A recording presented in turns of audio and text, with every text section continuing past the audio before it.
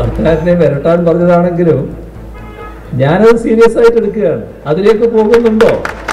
ഇന്ന് അവരെല്ലാം അവിടെയുള്ള അധ്യാപകരുടെ ശമ്പളം ആകെ സർക്കാരല്ലേ കൊടുക്കുന്നത്? പിന്നെ അതിന്റെ കൂടെ ഒരു മാസത്തെ ഒരു വാടക കൊടുക്കലാണോ സർക്കാരിന് വലിയ കാര്യം?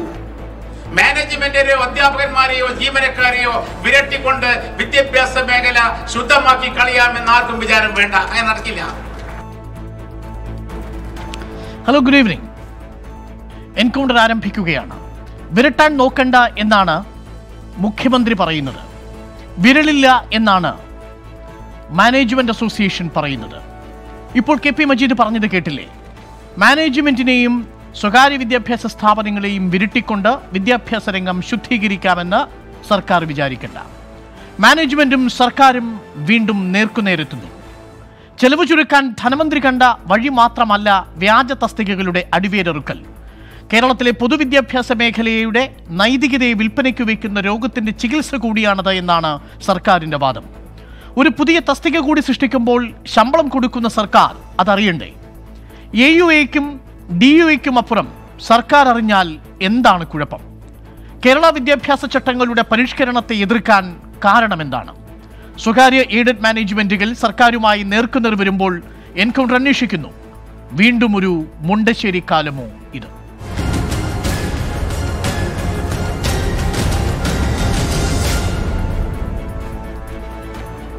ചർച്ചയിൽ സി പി എമ്മിൽ നിന്ന് A Rahim Muslim League M L A M Ummer Kerala private school managers association general secretary Kollam Mani aided school managers association സംസ്ഥാന president father Varkey Attupurath K S T A president B Harikumar എന്നിവർ നമുക്കൊപ്പം ചേരുന്നു. ആദ്യം K S T A president B ഹരികുമാറിലേക്ക്. B Harikumar മാനേജ്മെന്റുകൾ ഉന്നയിക്കുന്ന പ്രധാനപ്പെട്ട ആക്ഷേപം ഈ വിരട്ടിക്കൊണ്ട് ഇത്തരത്തിലുള്ള ഒരു പരിഷ്കരണം വരുത്താൻ സർക്കാർ തയ്യാറാകരുത്. മാത്രവുമല്ല ചില കള്ളങ്ങൾ പറയുന്നു സർക്കാർ എന്നുള്ള ഒരു പ്രധാനപ്പെട്ട വാദമാണ് ഇന്നലെ കെ സി ബി സി ഉന്നയിച്ചത്. അതിലേറ്റവും പ്രധാനപ്പെട്ടത് സംരക്ഷിത അധ്യാപകരുടെ കണക്കായി സർക്കാർ പറയുന്നത് മൂവായിരത്തി നാനൂറ്റി മുപ്പത്തി എട്ടാണ് ആധികാരികമായി. എന്നാൽ ബഡ്ജറ്റിൽ അത് വരുമ്പോൾ പതിമൂവായിരത്തി ഇരുന്നൂറ്റി അൻപത്തി അഞ്ചാവുന്നു ഇതെല്ലാം സ്വകാര്യ മാനേജ്മെന്റുകളെ നിയന്ത്രിക്കാൻ സർക്കാർ പിൻവാതിലിലൂടെ ശ്രമം നടത്തുന്നു എന്നതിന്റെ ഉദാഹരണമാണ്. ബി. ഹരികുമാർ.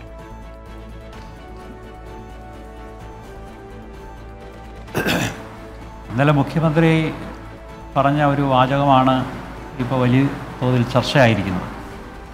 ഇന്നലെ കെ എസ് ടി എ എന്ന അധ്യാപക സംഘടനയുടെ പൊതുസമ്മേളനത്തിൽ മുഖ്യമന്ത്രി ഒരു പരാമർശം നടത്തിയത് ചില മാനേജ്മെന്റുകൾ വ്യാജ തസ്തികൾ ഉണ്ടാക്കി നിയമനം നടത്തുന്നുണ്ടെങ്കിൽ അത് പരിശോധിക്കും എന്നുള്ളതാണ്. വളരെ കൃത്യമായി പറഞ്ഞു എല്ലാ മാനേജ്മെന്റുകളെയും അത്തരത്തിൽ ഞങ്ങൾ കണക്ക് കൂട്ടുന്നില്ല അതിലേക്കൊന്നും ഞങ്ങൾ പോകുന്നില്ല എന്നാണ് പറഞ്ഞത്. അദ്ദേഹം പറഞ്ഞൊരു വാചകം ഇങ്ങനെയാണ്. അദ്ദേഹം ടി വി ചാനലിൽ കണ്ടു എന്നാൽ നിങ്ങളതെല്ലാം അങ്ങ് എടുത്തു ഞങ്ങൾക്ക് തന്നാൽ മതി എന്നാണ് മാനേജ്മെന്റ് പറഞ്ഞതായിട്ട് അദ്ദേഹം പറഞ്ഞു. അപ്പോൾ കേരളത്തിലെ മുഴുവൻ അധ്യാപകർക്കും ശമ്പളം കൊടുക്കുന്നത് കേരളത്തിലെ ഗവൺമെന്റാണ് അതുകൊണ്ട് ഈ വാടക കൊടുക്കൽ ഒരു പ്രശ്നമാകുന്നില്ല. അതുകൊണ്ട് സർക്കാരിനെ വിരട്ടാൻ നോക്കേണ്ട എന്നാണ്. ഇപ്പോൾ വരുന്ന വാർത്തകൾ എന്ന് പറയുന്നത് കേരളത്തിലെ കേരളത്തിന്റെ പൊതുവിദ്യാഭ്യാസ മേഖലയെ അടിമൊഴി മാറ്റിമറിക്കുന്നതിലും മുഖച്ഛായ മാറ്റുന്നതിലും ഒക്കെ അഹോരാത്രം പണിയെടുത്ത ഒരു വിഭാഗമാണ് ഈ മാനേജ്മെന്റുകൾ എന്നുള്ളതും നമ്മൾ മറക്കരുതല്ലോ. ഇന്നും അൻപത്തിയൊൻപത് ശതമാനം സ്കൂളുകളുടെ പങ്ക് ഇപ്പോഴും ഈ സ്വകാര്യ എയ്ഡഡ് മാനേജ്മെന്റുകൾക്കൊപ്പമാണ്. ഈ സ്വകാര്യ മാനേജ്മെന്റുകളോട് ഇങ്ങനെയുള്ള ഭാഷയിലാണോ സംസ്ഥാനത്തിന്റെ മുഖ്യമന്ത്രി പ്രതികരിക്കേണ്ടത്? അവരെ കൂടി വിശ്വാസത്തിലെടുത്തുകൊണ്ട് തെറ്റു ചെയ്യുന്നവരും വീഴ്ച വരുത്തുന്നവരുമായിട്ടുള്ള മാനേജ്മെന്റ് ഉണ്ടെങ്കിൽ അവരെ കൈകാര്യം ചെയ്യണം. അതിനവർക്ക് കൂടി അവരെ കൂടി ബോധ്യപ്പെടുത്തിയാവേണ്ട കാര്യങ്ങൾ. ഇത് ഭീഷണിപ്പെടുത്തിയും ഈ പറയുന്ന വിരട്ടാൻ നോക്കിയും തുടങ്ങിയ പദപ്രയോഗങ്ങൾ തന്നെ അടിസ്ഥാനരഹിതമല്ലേ അതല്ലല്ലോ. അങ്ങനെയല്ലല്ലോ ഈ കാര്യങ്ങളെ നമ്മൾ സമീപിക്കേണ്ടത്. വിദ്യാഭ്യാസത്തെക്കുറിച്ചല്ലേ നമ്മൾ സംസാരിക്കുന്നത് ഹരികുമാർ? കൃത്യമായ കാര്യമാണ്. ഈ കേരളത്തിലുള്ള മാനേജ്മെന്റുകൾ അല്ലെങ്കിൽ വിവിധ എഡ്യൂക്കേഷൻ ഏജൻസികൾ കേരളത്തിന്റെ വിദ്യാഭ്യാസ മേഖലയ്ക്ക് നൽകിയ സംഭാവനകളെ ഒന്നും നമ്മൾ കുറച്ച് കാണുന്നില്ല. പക്ഷേ അതിനൊരു വേറൊരു ചരിത്രം കൂടിയുണ്ട്. ഞാനിപ്പോൾ മുണ്ടശ്ശേരി എന്ന് നിങ്ങൾ കമന്റ് ചെയ്തുകൊണ്ട് പറയാണ്. ആയിരത്തി തൊള്ളായിരത്തി അമ്പത്തി ഏഴിൽ കൊണ്ടുവന്ന വിദ്യാഭ്യാസ ബില്ല് കേരളത്തിന്റെ ആ ഗവൺമെന്റിനെ തന്നെ പുറത്താക്കുന്നതിൽ വലിയ പങ്ക് വഹിച്ചിട്ടുണ്ട് എന്നുള്ള കാര്യത്തിൽ തർക്കമൊന്നുമില്ല. പക്ഷേ അതുവരെ ഉണ്ടായിരുന്ന മാനേജ്മെന്റുകളുടെ അപ്രമാദിത്വത്തെ കുറയ്ക്കാൻ അധ്യാപകരെ അധ്യാപകരെ അടിമകൾ പോലെ കണ്ടിരുന്ന ഒരു കാലഘട്ടത്തിൽ മാറ്റിമറിക്കാൻ കേരളത്തിന്റെ വിദ്യാഭ്യാസ മേഖലയിൽ വലിയ ചലനമുണ്ടാക്കിയതാണ് ആയിരത്തി തൊള്ളായിരത്തി അമ്പത്തി ഏഴിലെ ബില്ല് എന്ന് പറയുന്നത്. തുടർന്ന് ഇങ്ങോട്ടുള്ള കാലഘട്ടത്തിൽ ഒരുപാട് പരിഷ്കാരങ്ങൾ കേരളത്തിന്റെ വിദ്യാഭ്യാസ മേഖലയിൽ വന്നിട്ടുണ്ട്. അത് തർക്കമുള്ള കാര്യമല്ല. പക്ഷേ കേരളത്തിന്റെ വിദ്യാഭ്യാസ മേഖലയിൽ ഇപ്പോൾ നടക്കുന്ന ചില അനാശാസ്യ പ്രവണതകൾ അതാണ് അദ്ദേഹം ചൂണ്ടിക്കാണിച്ചത്. ഒരു കാരണമെന്ന് പറയുന്നത് ഇപ്പോൾ ഒരു മാനേജർക്കാണ് പോസ്റ്റ് ക്രിയേറ്റ് ചെയ്യാനുള്ള അവകാശം. അങ്ങനെ മാനേജർ ഒരു പോസ്റ്റ് ക്രിയേറ്റ് ചെയ്ത ശേഷം അതിൽ നിയമനം നടത്തിയിട്ട് അത് റാറ്റിഫിക്കേഷൻ വാങ്ങുന്ന അവസ്ഥാവിശേഷമാണ്. ഇനി അത് അങ്ങനെ ചെയ്യാൻ കഴിയില്ല. ഗവൺമെന്റിന്റെ മുൻകൂർ അനുമതി അനുമതിയോടുകൂടി അപ്പോൾ ഉദാഹരണം ഇപ്പോൾ ഹയർ സെക്കൻഡറി വിദ്യാഭ്യാസ മേഖലയിൽ എങ്ങനെയാണ് നടക്കുന്നത്? ഹയർ സെക്കൻഡറി വിദ്യാഭ്യാസ മേഖലയിൽ കൃത്യമായ പോസ്റ്റ് ക്രിയേഷൻ നടത്തി ഇന്റർവ്യൂ നടത്തിയതിന് ശേഷം മാത്രമേ മാനേജ്മെന്റിന് അവിടെ നിയമിക്കാൻ കഴിയുള്ളൂ.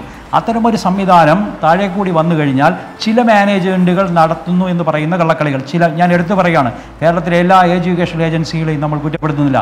ചിലർ ഇത്തരത്തിൽ ചില. ഇത്തരത്തിൽ അനാശാസ്യമായ ചില പ്രവണതകൾ വെച്ചു പുലർത്തുന്നുണ്ട്. അതിന് തടയിടണം എന്ന വാക്ക് മാത്രമാണ് മുഖ്യമന്ത്രി ഉപയോഗിച്ചത്. ഇപ്പോൾ മുസ്ലിം ലീഗ് എം എൽ എയും ഉമ്മർ കൂടി നമുക്കൊപ്പം ചേരുന്നുണ്ട്. ഇന്ന് മുസ്ലിം ലീഗ് അധ്യക്ഷൻ കെ പി മജീദ് പറഞ്ഞൊരു വാചകം. വിരട്ടി നോക്കിയും എങ്ങനെയൊന്നും ഈ വിദ്യാഭ്യാസ മേഖലയെ അങ്ങ് ശുദ്ധീകരിച്ച് കളയാമെന്ന് ആരും നോക്കണ്ട എന്നാണ്. എന്താണ് വിദ്യാഭ്യാസ മേഖല ശുദ്ധീകരിക്കേണ്ട എന്ന അഭിപ്രായമാണോ മുസ്ലിം ലീഗിനുള്ളത്?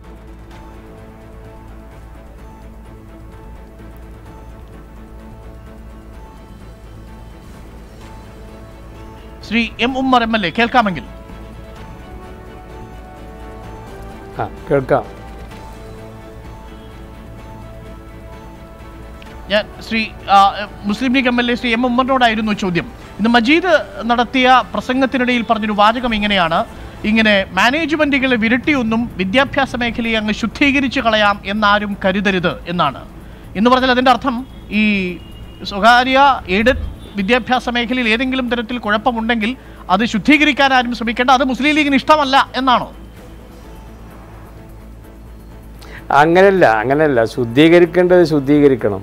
പക്ഷേ അതിന് മാനേജ്മെന്റിനെ വിരട്ടുക എന്നുള്ള സംഗതി മാനേജ്മെന്റിനല്ല ആരെയും വിരട്ടി നോക്കിയിട്ടല്ലല്ലോ കാര്യങ്ങൾ ചെയ്യേണ്ടത്.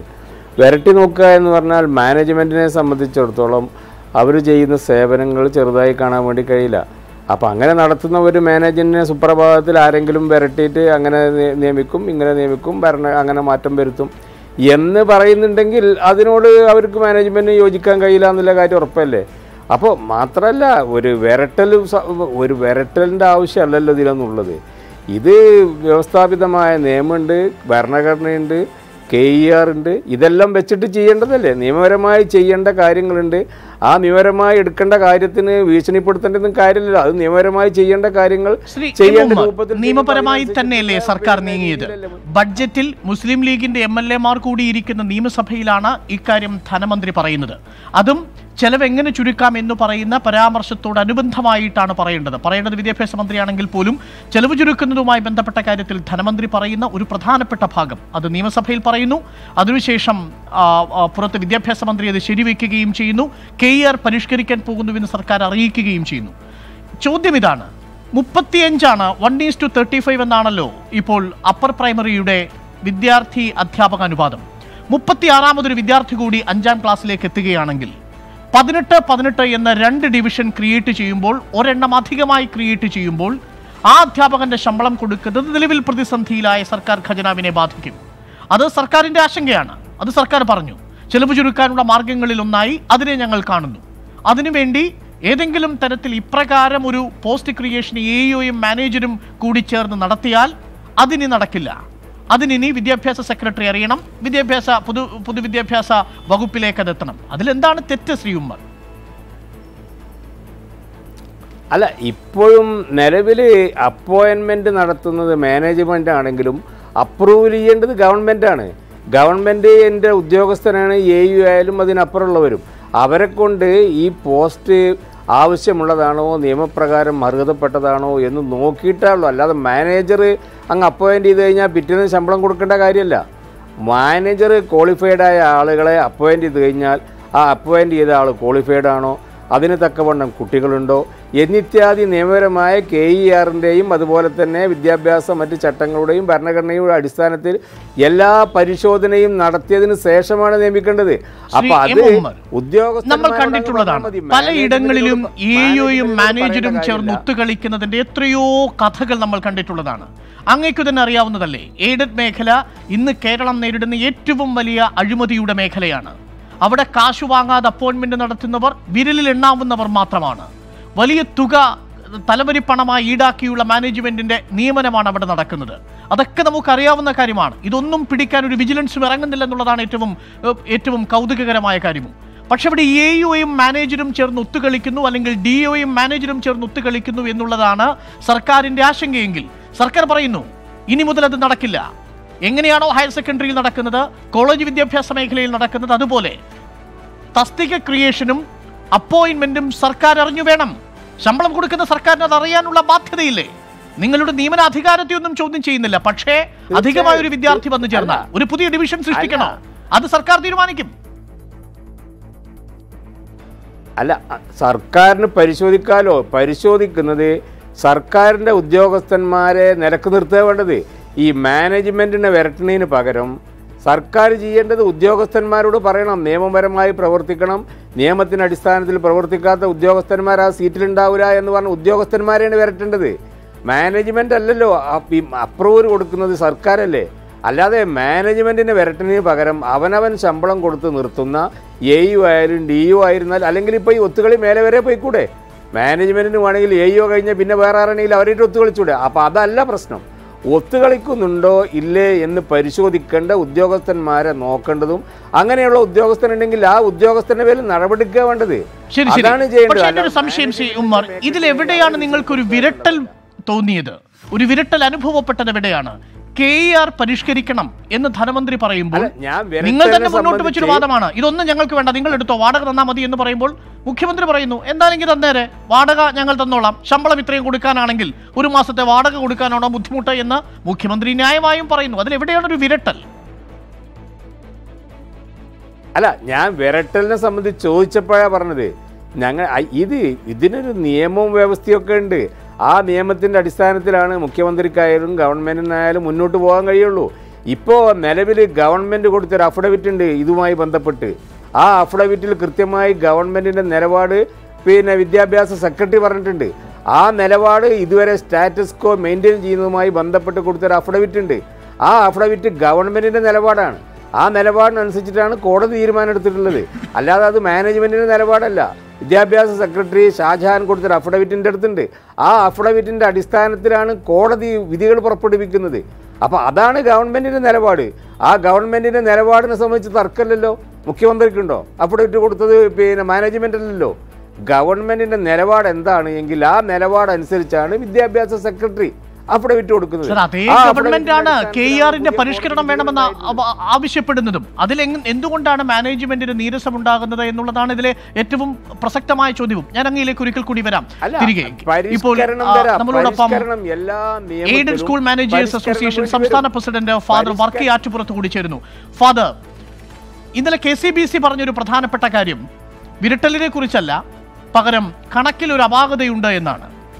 എന്റെ ഒരു സംശയം. നിലവിൽ ഈ സ്വകാര്യ മാനേജ്മെന്റ് സ്കൂളുകളിൽ നിയമനം നടക്കുമ്പോൾ സംരക്ഷിത അധ്യാപകരുടെ എണ്ണം കണക്കിലെടുക്കാതെയാണ് നിയമനം നടത്തുന്നത് എന്ന ധനമന്ത്രിയുടെ ആശങ്ക അത് അടിസ്ഥാനരഹിതമാണോ? പല പ്രാവശ്യം ചർച്ചകളിൽ ഉന്നയിച്ചിട്ടുണ്ട് ഞങ്ങൾ ആവശ്യപ്പെട്ടിട്ടുണ്ട് എത്ര പ്രൊട്ടക്റ്റഡ് അധ്യാപകർ അല്ലെങ്കിൽ എത്ര ടീച്ചേഴ്സ് മിച്ചമായിട്ട് ഇവിടെ നിൽക്കുന്നുണ്ട് എന്ന് കണക്ക് ബോധിപ്പിക്കുകയാണ് സർക്കാർ കോടതിയിൽ സുപ്രീം കോടതിയിൽ കൊടുത്തിരിക്കുന്ന കണക്ക് പോലും മൂവായിരത്തിന് അടുത്ത ഒരു സംഖ്യ മാത്രമാണ്. ഇതുവരെ കൃത്യമായ ഒരു കണക്ക് ഗവൺമെന്റ് കോടതിയിൽ സമർപ്പിച്ചിട്ടില്ല. പല സോഴ്സിൽ കൂടി അത് വിവരാവകാശത്തിൽ കൂടെ വരെ നമുക്ക് ലഭിച്ചിരിക്കുന്ന കണക്കനുസരിച്ച് മൂവായിരത്തി മുന്നൂറിനടുത്ത സംഖ്യ മാത്രമേ പ്രൊട്ടക്റ്റഡ് അധ്യാപകരുടെ നിൽപ്പുള്ളൂ. ഈ പതിമൂവായിരം എന്ന് പറയുന്ന കണക്ക് തന്നെ വളരെ തെറ്റായിട്ടുള്ള ഒരു കാര്യമാണ്. പിന്നെ ഇവിടെ ശ്രീ ഹരികുമാർ പറഞ്ഞ ഒന്ന് രണ്ട് വിഷയത്തെ കുറിച്ച് എനിക്ക് പ്രതികരിക്കേണ്ടതുണ്ട്. ഈ ദിവസങ്ങളിലുണ്ടായ വിവാദങ്ങൾ അല്ലെ ചർച്ചകൾ അല്ലെ നിയമന നിയന്ത്രണത്തിന് ആധാരമായിട്ട് പറയുന്നത് ചില എ ഒമാരോ ഡി ഒമാരോ അല്ലെ ചില മാനേജ്മെന്റോ കള്ളത്തരം കാണിച്ചു എന്നുള്ളതാണ്. ഈ കള്ളത്തരം കാണിച്ചത് പിടിക്കാൻ ഇവിടെ എന്തെല്ലാം സംവിധാനമുണ്ട്? ഒരു ഏതോ മാനേജ്മെന്റ് കള്ളത്തരം കാണിച്ചിട്ടുണ്ടെങ്കിൽ അത് പിടിക്കാനുള്ള സംവിധാനം ഉണ്ടാക്കുന്നതിന് പകരം ഒരു വിദ്യാഭ്യാസ സംവിധാനത്തെ മുഴുവനും നിലനിൽക്കുന്ന സംവിധാനത്തിനെ മുഴുവനും തകർക്കേണ്ട കാര്യമുണ്ട്. ഇതുപോലെ സർക്കാരിന്റെ എവിടെയാണ് തകർക്കലുള്ളത്? നിയമനം നടത്തുന്നത് സർക്കാർ അറിഞ്ഞു വേണം. അത് എ യുയും ഡി യുമാണ് നിലവിലെങ്കിൽ അത് വിദ്യാഭ്യാസ സെക്രട്ടറി കൂടി അറിയട്ടെ. പൊതുവിദ്യാഭ്യാസ സെക്രട്ടറി അറിയുന്നത് കൊണ്ട് എന്താണ് കുഴപ്പം? സർക്കാർ അത്രയല്ലേ പറഞ്ഞുള്ളൂ? എയും ഡിഒയും സർക്കാരിന്റെ ഭാഗമാണ് വിദ്യാഭ്യാസത്തിന്റെ ഭാഗമാണ് അത് മാനേജ്മെന്റിന്റെ ഭാഗമല്ല. സർക്കാരിന്റെ ഉദ്യോഗസ്ഥന്മാരാണ്. അവർ പരിശോധിക്കട്ടെ തെറ്റുണ്ടെങ്കിൽ കണ്ടുപിടിക്കട്ടെ തെറ്റായി നിയമനം നടത്തിയത് പുറത്താക്കട്ടെ നമ്മൾ ഇതിനെല്ലാം അങ്ങനെയാണെങ്കിൽ ഫാദർ എയും ആകാമെങ്കിൽ എന്തുകൊണ്ട് സെക്രട്ടറി ആയിക്കൂടാ അവരും സർക്കാരിന്റെ ഭാഗമല്ലേ? നിങ്ങൾ എന്താണ് സെക്രട്ടറിയെ ഭയക്കുന്നത്? നിയമന അംഗീക ഇതിന്റെ ഏറ്റവും വലിയ വിഷയം അംഗീകാരം കിട്ടാൻ വൈകുന്നു എന്നുള്ളതാണ്. ഇപ്പോൾ ഉദാഹരണമായിട്ട് ഇവിടെ കോളേജിലെ കാര്യം പറഞ്ഞു. കോളേജിലെ സർക്കാരിന്റെ റിട്ടയർമെന്റ് പോസ്റ്റ് പോലും സർക്കാരിന്റെ അംഗീകാരം കാത്ത് റിട്ടയർമെന്റ് ആയി രണ്ടും മൂന്നും വർഷം കഴിഞ്ഞിട്ട് പോലും സർക്കാരിൽ നിന്ന് അംഗീകാരം ലഭിക്കുന്നില്ല ആ നിയമനം നടത്താനായിട്ട്. നിയമനം നടത്തിയാലും അതിനുള്ള പണം കിട്ടുന്നില്ല. ഇത് എയോ നടത്തിയിട്ട് പോലും ഇമ്മീഡിയറ്റ് ആയിട്ടുള്ള അതോറിറ്റി എയോ നടത്തിയിട്ട് പോലും ഒരു നിയമനത്തിന് അപ്രൂവൽ കിട്ടാൻ മാസങ്ങളും വർഷങ്ങളും എടുക്കുകയാണ്. ഇനി ഇത് സെക്രട്ടറി തലം വരെ പോയി കഴിഞ്ഞാൽ ഒരാളെ നിയമിക്കാൻ പോലും സ്കൂളിൽ അധ്യാപകരില്ലാത്ത ഒരു സാഹചര്യം ഉണ്ടാകും. ഇപ്പം കോളേജിലെ പകുതിയോളം അധ്യാപകർ ഗസ്റ്റ് ലെക്ചേഴ്സ് ആണ് ഗവൺമെന്റ് സമയാസമയങ്ങളിൽ നിയമനം നടത്താൻ അനുവദിക്കാത്തത് കൊണ്ട് അല്ലെങ്കിൽ മുൻകൂട്ടിയുള്ള അപ്രൂവൽ തരാത്തത് കൊണ്ട് കോളേജിൽ പകുതിയോളം അധ്യാപകര് ഗസ്റ്റ് ലെക്ചേഴ്സ് ആണ്. ഈ അവസ്ഥ തന്നെയാണ് സ്കൂളിൽ വരുന്നത്. സ്കൂളിൽ അധ്യാപകരെ സർക്കാരിനെ ഒരു വീഴ്ച വരുന്ന ഘട്ടത്തിൽ ബോധിപ്പിക്കേണ്ട കാര്യങ്ങളാണ്. നിലവിൽ ആ വീഴ്ച ഭാവിയിൽ വരുമെന്ന് മുൻകൂട്ടി കരുതിക്കൊണ്ടുള്ള ഒരു നീക്കമാണിത് എന്ന് വിശ്വസിക്കുക ഈ ഘട്ടത്തിൽ സാധ്യമല്ല. ഇപ്പോഴും ന്യായമായുമുള്ള സംശയം എന്തുകൊണ്ട് എ യുയും ഡി യും ആകാമെങ്കിൽ വിദ്യാഭ്യാസ സെക്രട്ടറി ആയിക്കൂടാ? വളരെ ലളിതമായൊരു ചോദ്യമാണ്. ഞാൻ അങ്ങയിലേക്ക് തിരികെ വരാം. ഇപ്പോൾ managers association general secretary Kollam Mani കൂടി ചേരുന്നുണ്ട്. ശ്രീ കൊല്ലം മണി നിങ്ങൾക്ക് എന്താണ് ആശങ്ക? ഇതിൽ വിദ്യാഭ്യാസ സെക്രട്ടറി കൂടെ ഈ ഒരു പുതിയ തസ്തിക നിയമിക്കുന്നത് അറിയുന്നത് കൊണ്ട് എന്താണ് കുഴപ്പം? അത് കുറച്ചുകൂടി ഈ മേഖലയെ ശുദ്ധീകരിക്കുമെങ്കിൽ അതിനെ നിങ്ങൾ കൈനീട്ടി സ്വാഗതം ചെയ്യുകയല്ലേ വേണ്ടത്?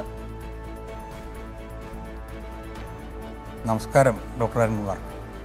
ഇപ്പോൾ ഈ ചോദിച്ച ചോദ്യത്തിന് സെക്രട്ടറി അറിയുന്നതുകൊണ്ട് യാതൊരു ദോഷവുമില്ല സെക്രട്ടറി ഇപ്പോഴത്തെ നിയമം അനുസരിച്ച് സെക്രട്ടറി ഇതൊക്കെ അറിയുന്നുണ്ട്. പക്ഷേ അതിലൊക്കെ പ്രധാനം നമ്മുടെ ഇന്ന് ഇവിടെ തുടങ്ങിയ ചർച്ചയിൽ നമ്മൾ ഏത് നിയമത്തിനെ അടിസ്ഥാനമാക്കിയാണ് ഇവിടെ ചർച്ച ചെയ്യുന്നത് എന്നുള്ളതാണ് ശ്രീ അരികുമാറിന്റെയും ഒക്കെ സംസാരത്തിൽ നിന്ന് എനിക്ക് സംശയം തോന്നുന്നത്. നമ്മളിവിടെ സംസാരിക്കുന്നത് കേന്ദ്ര വിദ്യാഭ്യാസ അവകാശ നിയമം ഇന്ത്യയിലാകമാനം രണ്ടായിരത്തി ഒമ്പതിൽ നടപ്പിലാക്കിയതിന് ശേഷം നാളിതുവരെ. ആ നിയമം അനുസരിച്ച് മാത്രമേ ഇന്ത്യയിലെ എല്ലാ സംസ്ഥാനങ്ങൾക്കും ഒന്ന് മുതൽ എട്ട് വരെ ഉള്ള വിദ്യാർത്ഥികൾക്ക് അല്ലെങ്കിൽ ആ സ്ഥാപനങ്ങൾ നടത്താൻ കഴിയും എന്നുള്ള യാഥാർത്ഥ്യം ഈ ചർച്ചയിൽ പങ്കെടുത്തിരിക്കുന്ന എല്ലാവർക്കും അറിയാവുന്ന കാര്യമാണ്. അതിനെയും ഹയർ സെക്കൻഡറിയും തമ്മിൽ കൂട്ടിക്കെട്ടിയാൽ ഈ ചർച്ച എവിടെ ചെന്ന് നിൽക്കും? ഹയർ സെക്കൻഡറി സ്പെഷ്യൽ റൂളിന്റെ ഭാഗമാണ്. ഇപ്പോൾ തന്നെ കസ്തൂരി രംഗൻ പിന്നെ കമ്മീ കമ്മീഷന്റെ റിപ്പോർട്ട് വരുന്ന വരുന്നു കഴിയുമ്പോൾ അത് എൽ കെ ജി മുതൽ പത്താം തരം വരെ അല്ലെങ്കിൽ ഹയർ സെക്കൻഡറി വരെ നീട്ടുന്നതിനെ കുറിച്ചാണ് ഇപ്പോൾ കേന്ദ്ര ഗവൺമെന്റ് ആലോചിക്കുന്നത്. ഇത് രണ്ടായിരത്തി ഒമ്പതിൽ ഈ വിഷയം കുറച്ച് വർഷങ്ങളായി തുടങ്ങിയതാണ്. രണ്ടായിരത്തി ഒൻപതിൽ ഈ കേന്ദ്ര വിദ്യാഭ്യാസ അവകാശ നിയമം വന്നത് അന്ന് മുതൽ തുടങ്ങിയ വിഷയമാണിത്. അന്ന് അന്ന് മുതൽ കോടതിയിലും ഹൈക്കോടതിയിലും സുപ്രീം കോടതിയിലും ഇത് സംബന്ധിച്ച കേസ് പോയിട്ടുള്ളതാണ്. ഞാൻ ദീർഘിപ്പിച്ച് പറയുന്നില്ല. ഈ കേന്ദ്ര വിദ്യാഭ്യാസ അവകാശ നിയമം അനുസരിച്ച് അതിൽ പറയുന്ന എല്ലാ മാനദണ്ഡങ്ങളും പാലിക്കാൻ സംസ്ഥാനങ്ങൾ ബാധ്യസ്ഥമല്ലേ? അതിനെതിരെ ഗവൺമെന്റ് കൊടുത്ത കേസുകൾ അത് യു ഡി എഫ് ആയാലും എൽ ഡി എഫ് ആയാലും കൊടുത്ത കേസുകൾ സുപ്രീം കോടതി വരെ തള്ളിയതാണ്. അതിന്റെ അടിസ്ഥാനത്തിലാണ് പത്തൊമ്പതിനായിരത്തി എട്ട് രണ്ടായിരത്തി പതിനാല് ആ കേസിന് അതിലാണ് അന്തിമ വിധി പിന്നെ വിനോദ് ചന്ദ്ര ജസ്റ്റിസ് വിനോദ് ചന്ദ്രന്റെ അന്തിമ വിധിക്ക് അനുസൃതമാണ് ഈ ഗവൺമെന്റ് ജി ഒ പി ഇരുപത്തൊമ്പത് രണ്ടായിരത്തി പതിനാറ് എന്ന് പറയുന്ന ജിയോ ഇറക്കുന്നതോടുകൂടിയാണ് ഈ പറയുന്ന റേഷ്യോകളെല്ലാം നിലവിൽ വന്നത്. ആ റേഷ്യോ വരുമ്പോൾ ഈ പിന്നെ ഒരു കുട്ടിയുടെ അഡ്മിഷൻ എങ്ങനെയാണ് ആരംഭിക്കുന്നത്? പണ്ടായിരുന്നെങ്കിൽ ടി സി കൈകൊണ്ട് എഴുതി കൊടുക്കുക എന്ന് പറയുന്ന നിയമമായിരുന്നു. ഇന്നിപ്പോൾ ആധാർ കാർഡ് കുട്ടിയുടെ ജനന സർട്ടിഫിക്കറ്റും ഉപയോഗിച്ച് ആറ് പ്രവൃത്തി ജൂൺ ഒന്നിന് ഉറക്കുകയാണെങ്കിൽ ആറ് ദിവസത്തിനകം ആ കുട്ടി രജിസ്റ്റർ ചെയ്ത് കഴിഞ്ഞാൽ ആ ആ ആധാർ കാർഡ് ഉപയോഗിക്കാതെ ആ കുട്ടിയെ ആ കുട്ടിക്ക് വേറൊരു സ്ഥലത്ത് ഇന്ത്യയിൽ എവിടെയെങ്കിലും വേറൊരു സ്കൂളിലേക്ക് മാറാൻ പുതുതായി ചേരാൻ കഴിയില്ല ആ നിയമം എല്ലാവർക്കും അറിയാവുന്നതല്ലേ? അപ്പോൾ ഇത് എവിടെയാണ് ഈ കുട്ടികൾ അധികം വ്യാജമായി വരുന്നതെന്ന് ഞങ്ങൾക്ക് മനസ്സിലാവുന്നില്ല. ഈ ആ വിഷയമാണെങ്കിൽ. അപ്പം ഇത് സെക്രട്ടറി നോക്കണം എന്ന് പറഞ്ഞപ്പം ഇപ്പോൾ ഫാദർ പറഞ്ഞതുപോലെ ഇവിടെ ഒരു കാര്യം ഒരു ഒരു അപ്പീൽ കൊടുത്താൽ പോലും മാസങ്ങളാണ് എടുക്കുന്നത്. ശരി ശരി. അതിലേക്ക് അഞ്ച് വരാം. പറഞ്ഞ ആദ്യത്തെ കാര്യത്തിൽ ഇതിൽ റൈറ്റ് ടു എഡ്യൂക്കേഷൻ പ്രകാരം വിദ്യാഭ്യാസ അവകാശ നിയമത്തിന്റെ പരിധിയിലാണ് നമ്മൾ ഈ പറഞ്ഞ എൽ പിയുടെയും യു പിയുടെയും അധ്യാപക വിദ്യാർത്ഥി അനുപാതം മുപ്പതും മുപ്പത്തിയഞ്ച് ഒക്കെ ആയിട്ട് നിശ്ചയിക്കുന്നത് പക്ഷേ ഒരു സംശയമുള്ളത് ഇതിൽ പ്രൊട്ടക്റ്റഡ് അധ്യാപകർ എന്ന് പറയുന്ന ഒരു സവിശേഷമായ സാഹചര്യം കേരളത്തിലാണുള്ളത്. സംരക്ഷിത അധ്യാപകർ. ഇതിപ്പോൾ ധനമന്ത്രി പറഞ്ഞ കണക്ക് പ്രകാരം പതിമൂവായിരത്തി ഇരുന്നൂറ്റി എൺപത്തിയഞ്ച് സംരക്ഷിത അധ്യാപകർ കേരളത്തിലുണ്ട്. അതിനിടയ്ക്കാണ് പതിനെണ്ണായിരത്തി നൂറ്റി പത്തൊൻപത് നിയമനങ്ങൾ സർക്കാർ അറിയാതെ ഈ മാനേജ്മെന്റുകൾ നടത്തിയിരിക്കുന്നത്. സർക്കാർ സ്കൂളുകളിൽ തന്നെ പതിനേഴായിരം നിയമനങ്ങൾ നടത്തിയിട്ടുണ്ട്. ആ നിയമനങ്ങൾ പൂർണമായിട്ടും അധ്യാപകരെ പുനർവിന്യസിച്ചുകൊണ്ടായിരുന്നു. ഇവിടെ പ്രൊട്ടക്റ്റഡ് അധ്യാപകരെ കൂടി അബ്സോർബ് ചെയ്യണമെന്ന കോടതി വിധി കൂടി നിലവിലിരിക്കുന്ന സാഹചര്യത്തിലാണ്. ഇക്കാര്യം സർക്കാരുമായി ആലോചിക്കാതെ ഒരു വിദ്യാർത്ഥി കൂടി കൂടുതൽ വന്നു ചേർന്നാൽ പതിനെട്ട് പതിനെട്ട് രണ്ട് ഡിവിഷനായി കഴിഞ്ഞിരിക്കുന്നു. മുപ്പത്തിയഞ്ചാണ് വേണ്ടത്. പക്ഷേ പതിനെട്ട് പതിനെട്ട് എന്ന രീതിയിൽ ഒരു വിദ്യാർത്ഥി കൂടി വന്നാൽ ഒന്നാവാം. അല്ലെങ്കിൽ പതിനാറ് പതിനാറ് എന്ന രീതിയിൽ അടുത്ത ഒരു ഡിവിഷൻ സൃഷ്ടിക്കാം എന്ന അവസ്ഥയിലേക്ക് എത്തിയിരിക്കുന്നു. ഇവിടെ ഒരു അധ്യാപകനെ നിയമിക്കാൻ മാനേജ്മെന്റിന് കാണുന്ന അമിത താല്പര്യം അതിന് പിന്നിലുള്ള അഴിമതിയുടെ ഭാഗം അവിടെ നിൽക്കട്ടെ. പക്ഷേ അത് സർക്കാരിന് ബാധ്യതയുണ്ടാക്കുന്നു എന്നാണ് ശ്രീമണി. ആ അതുകൊണ്ടാണ് സർക്കാർ പറയുന്നത്. അതുകൊണ്ട് ഇത് അറിയണം. സർക്കാർ വെരിഫൈ ചെയ്യണം.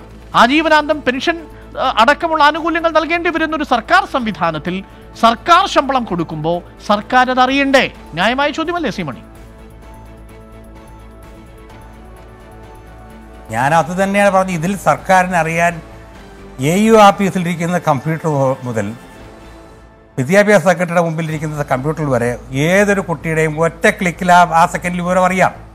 പിന്നെ എന്താണത് അറിയാൻ പറ്റുന്നത് എന്താണ് ഈ എന്താണ് ഇതിനകത്ത് നടന്ന അഴിമതി എന്നാണ് ഞങ്ങൾക്ക് മനസ്സിലാവാത്തത്. സർക്കാർ തന്നെ ഇപ്പോൾ പറഞ്ഞ കണക്ക് സുപ്രീം കോടതിയിൽ കഴിഞ്ഞ ആഴ്ചയും അവിടെ വീട്ടിൽ പറയുന്നത് പിന്നെ മൂവായിരത്തി നാൽപ്പത്തി ഏഴ് അധ്യാപകർ മാത്രമേ ഉള്ളെന്നാണ് പറയുന്നത്. ഇനി ആ വിഷയമാണ് എടുക്കുന്നതെങ്കിൽ ഞങ്ങൾ ഇപ്പോഴും ഈ ഗവൺമെന്റുമായി എത്ര പ്രാവശ്യം ചർച്ച നടത്തി?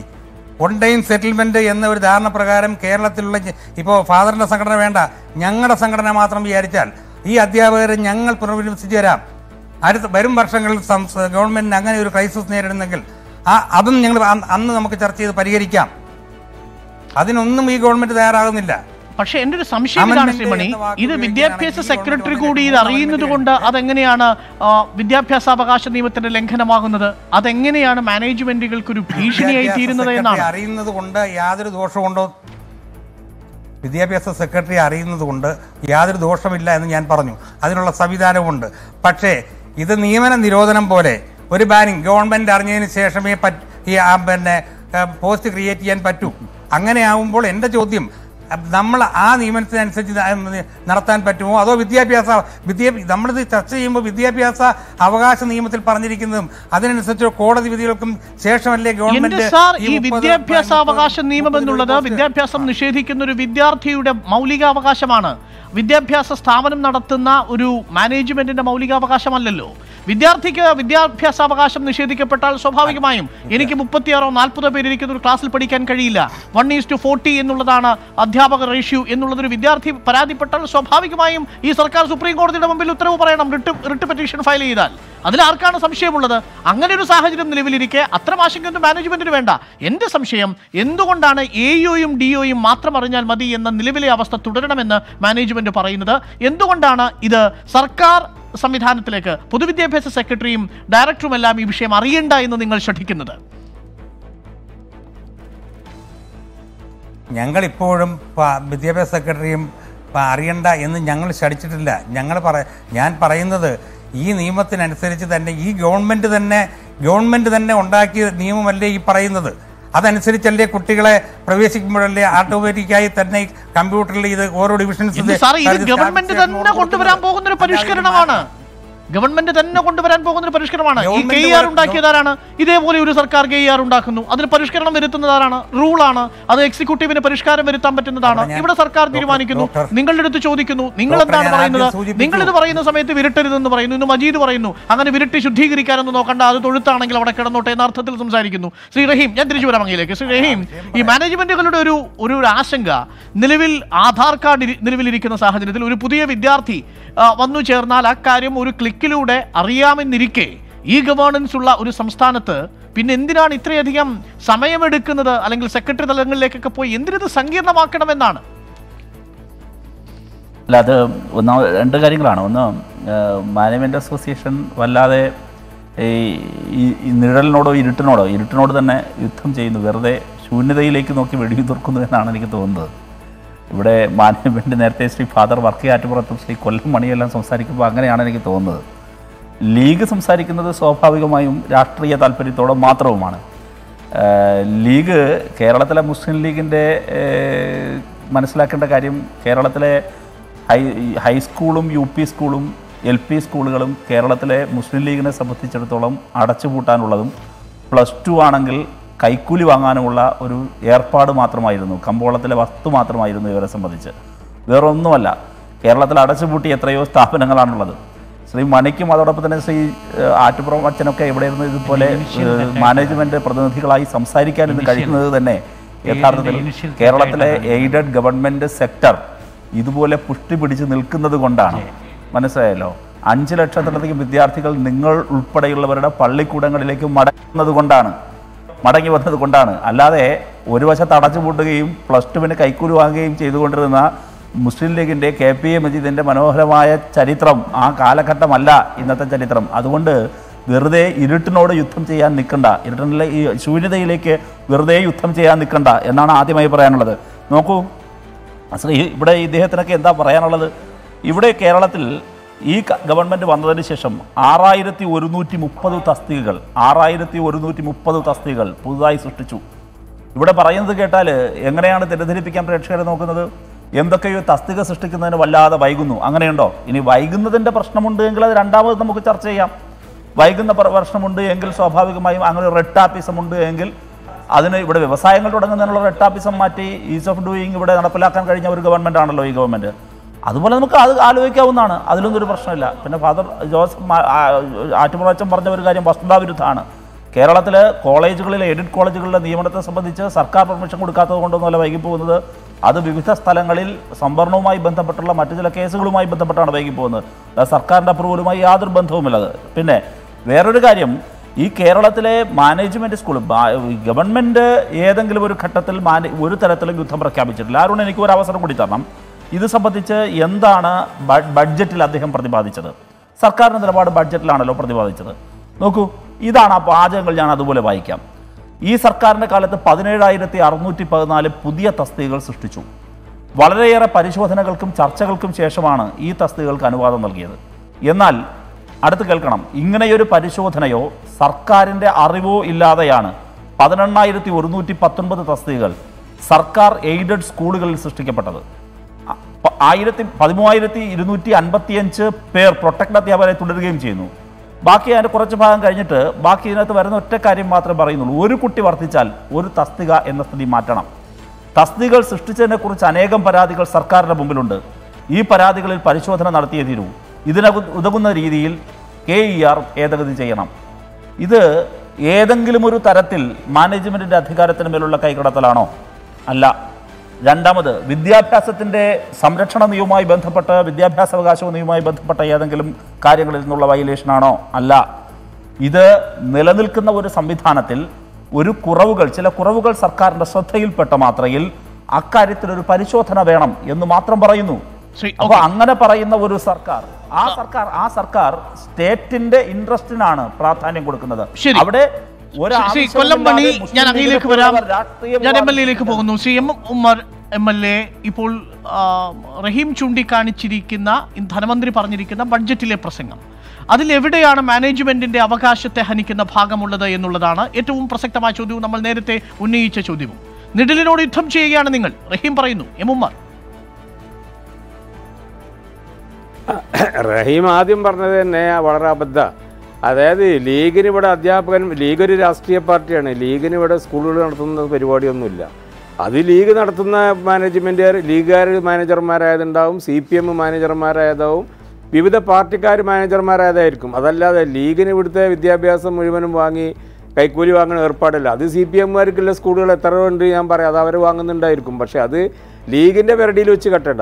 പിന്നെ ഇത് പറഞ്ഞിട്ടുള്ളത് വി- വിദ്യാഭ്യാ വി- പ- ഇതിനകത്ത് ഇത് മാത്രമൊന്നുമല്ല പറഞ്ഞിട്ടുള്ളത്. ഇപ്പോൾ ഇന്ന് ബജറ്റിനകത്ത് വേറെ അദ്ദേഹം പറഞ്ഞ വേറൊരു സംഗതി ഉള്ളത്. ഈ സ്കൂളുകൾക്കുള്ള അൺഎയ്ഡഡ് മേഖലയിലുള്ള സ്കൂളുകളുടെ വാഹനങ്ങൾക്ക് മുഴുവൻ നികു പിന്നെ ടാക്സ് കൂട്ടുമെന്നുള്ളതാണ് എന്ന് പറഞ്ഞാൽ ആ വാഹനങ്ങൾക്ക് ടാക്സ് കൂട്ടുക എന്ന് പറഞ്ഞാൽ സർക്കാരിന് ഒരു ചെറിയ സംഖ്യക്ക് വേണ്ടി ഇവിടുത്തെ സാധാരണക്കാർ അനാഥശാലകൾ അതുപോലെയുള്ള സ്ഥാപനങ്ങൾ നടത്തപ്പെടുന്ന വിദ്യാലയങ്ങളിലെ സ്കൂളുകളിലെ പിന്നെ എയ്ഡഡ് സ്കൂളുകളിലെയോ സർക്കാർ സ്കൂളുകളിലോ സ്കൂളുകളിലെയോ അല്ല അൺഎയ്ഡഡ് സ്കൂളുകളിൽ ഫീസ് നൽകി പഠിക്കുന്ന സ്കൂളുകളിൽ സ്വകാര്യ പ്രൈവറ്റ് മാനേജ്മെന്റ് സ്കൂളുകളിലാണ്. അത് എയ്ഡഡ് സ്കൂളുകളല്ല. ഗവൺമെന്റ് സ്കൂളുകളോ സർക്കാർ ഫീസിൽ പഠിക്കുന്ന സ്കൂൾ സ്ഥാപനങ്ങളോ അല്ല. അതുകൊണ്ട് അത് നമുക്ക് അതിലേക്ക് ഇപ്പോൾ പോകേണ്ട ആവശ്യമില്ല. അത് സർക്കാർ ഒരു റവന്യൂ റിസീപ്റ്റ് എന്ന രീതിയിൽ കണ്ടിരിക്കുന്ന ഒരു. കാര്യമാണ്. നമുക്ക് ചർച്ച കെ ആർ പരിഷ്കരണത്തിൽ തന്നെ ഒതുക്കി നിർത്തണം ശ്രീകുമാർ അതായത് പറഞ്ഞോളൂ.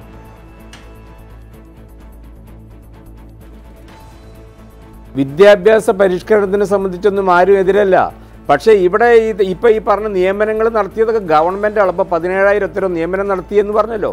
അത് നടത്തിയത് ഗവൺമെന്റ് പരിശോധിച്ചിട്ടുണ്ടോ എന്ന് ഗവൺമെന്റാണ് ഉറപ്പുവരുത്തേണ്ടത്. ഇവിടെ നിയമന ഉത്തരവ് കൊടുക്കുന്ന ഈ ഗവൺമെന്റ് വന്നതിന് ശേഷം എത്ര നിയമനം നടത്തിയിട്ടുണ്ട് എന്നുള്ളത് ഇപ്പോൾ റഹീം പറഞ്ഞല്ലോ. അതിനകത്ത് ഈ പരിശോധന നടത്തിയിട്ടുണ്ടോ എന്ന് ഗവൺമെന്റ് പരിശോധിച്ച് സർക്കാർ പരിശോധിച്ചു. സർക്കാർ പറഞ്ഞത് ഇനിയും പരിശോധിക്കാൻ വേണ്ടി പതിനെണ്ണായിരത്തോളം വേക്കൻസികൾ സർക്കാർ നിയമനങ്ങൾ നടത്തിയതിൽ സർക്കാർ സ്കൂളുകളുടെ നിയമനങ്ങൾ നടത്തിയതിൽ വേണ്ടത്ര പരിശോധനകൾ സർക്കാർ നടത്തിയിട്ടുണ്ട്. എയ്ഡഡ് സ്കൂളുകളിലേക്കുള്ള നിയമനങ്ങൾ നടത്തിയതിൽ പരിശോധനകൾ നടത്തിയിട്ടില്ല മാനേജ്മെന്റുകൾ. അത് പരിശോധിക്കണം. ഒരു വിദ്യാർത്ഥി വന്നാൽ ഒരു തസ്തിക സൃഷ്ടിക്കുമെന്നുള്ളത് സംസ്ഥാന സർക്കാരിന്റെ. പാഴ്ചെലവാണ്. ആ കാര്യം പുനഃപരിശോധിക്കണം. ഇതെല്ലാം വിശദമായി ഗവൺമെന്റ് പറയുമ്പോൾ ഈ മാനേജ്മെന്റ് മുസ്ലിം ലീഗ് എന്തിനാണ് ഇത്രയധികം ടെൻഷൻ അടിക്കുന്നത്? അല്ല. മുസ്ലിം ലീഗിന് ഒരു ടെൻഷനും ഇല്ലാന്നേ. മുസ്ലിം ലീഗ് ഇവരല്ലേ പരിശോധിക്കേണ്ടത്? ഇവർ പരിശോധിച്ചിട്ട് നിയമനം നടത്തട്ടെ? എന്താ ഇതിനകത്ത് തകരാറുള്ളത് പക്ഷേ ഈ ഗവൺമെന്റ് സ്കൂളിലെ മാനദണ്ഡം എന്താണ്? അവിടെ നിയമനം നടത്തുമ്പോൾ പരിശോധിച്ച പോലെ മറ്റ് മാനേജ്മെന്റ് സ്കൂളും പരിശോധിക്കട്ടെ? അതിനാർക്കും എതിരിൽ മുസ്ലിം കുറച്ചുകൂടി മെച്ചപ്പെട്ട സംവിധാനം എന്ന നിലയിലാണ് വിദ്യാഭ്യാസ സെക്രട്ടറിയും പൊതുവിദ്യാഭ്യാസ ഡയറക്ടറും അടങ്ങുന്ന ആളുകൾ കൂടി നിലവിൽ ഈ ഈ- എയും ഡി ഡിഒയും കൈകാര്യം ചെയ്തിരുന്ന ജോലികൾ ചെയ്യണമെന്ന് പറയുന്നത് അതിലെന്തിനാണ് ആശങ്ക സർ? ഒരാശങ്കയില്ല. ഒരാശങ്കയില്ല. ഗവൺമെന്റിന് അവരെ താഴെയുള്ള ഉദ്യോഗസ്ഥന്മാരെ ഡി ഒ തലത്തിൽ എ ഒ തലത്തിലുള്ള ഗസറ്റഡ് ഓഫീസർമാരെ വരുതിയിൽ നിർത്താനും അവർ പറഞ്ഞു പറഞ്ഞുകൊടുത്ത് നിർത്താനും കഴിയാത്തതിന് ലീഗിന്റെ മേക്കെട്ട് കയറിയിട്ട് എന്താ കാര്യം? ലീഗാണ് സാർ ഇന്ന് പറഞ്ഞത് ശുദ്ധീകരിക്കാൻ വരേണ്ടെന്ന്. ലീഗാണെന്ന് മുസ്ലിം ലീഗിന്റെ അധ്യക്ഷനാണെന്ന് പൊതുജനങ്ങളോട്. പറയുന്നത്. ഇങ്ങനെ വിരട്ടിയൊന്നും ഒന്നും വിദ്യാഭ്യാസ രംഗത്തെ ശുദ്ധീകരിക്കാൻ വരേണ്ടെന്ന്. സർക്കാർ പറഞ്ഞത് എന്താ? ഇത് ഞങ്ങൾ അറിയണം. അത് നിങ്ങൾ തന്നെ പറയുന്നു. അത് അറിയുന്നതിൽ തെറ്റില്ലെന്ന്. പിന്നെ മുസ്ലിം ലീഗിന്റെ അധ്യക്ഷൻ എന്തിനാണ് ആ പ്രസംഗം നടത്തിയത്? മുസ്ലിം ലീഗിന്റെ അധ്യക്ഷനല്ല മുസ്ലിം ലീഗിന്റെ സെക്രട്ടറിയാണ്. അധ്യക്ഷൻ വേറെ സെക്രട്ടറി വേറെ. മുസ്ലിം ലീഗിന്റെ അധ്യക്ഷനല്ല സെക്രട്ടറി. അദ്ദേഹത്തിന്റെ സ്റ്റേറ്റ്മെന്റ് ഞാൻ കേട്ടിട്ടില്ല. താങ്കൾ പറഞ്ഞതിൽ കൂടിയാണ് ഞാൻ കേൾക്കുന്നത്. ഞങ്ങൾ ഒരിക്കൽ അദ്ദേഹം കൂടി ആ സ്റ്റേറ്റ്മെന്റ് അങ്ങേക്ക് കേൾപ്പിച്ചു തരാം. മുസ്ലിം ലീഗ് സെക്രട്ടറി ഇന്ന് പറഞ്ഞത് എന്താണ് എന്നൊരിക്കൽ കൂടി. അങ്ങേക്ക് കേൾക്കാം. കെ പി മജീദ് പറഞ്ഞത് ഒരിക്കൽ കൂടി.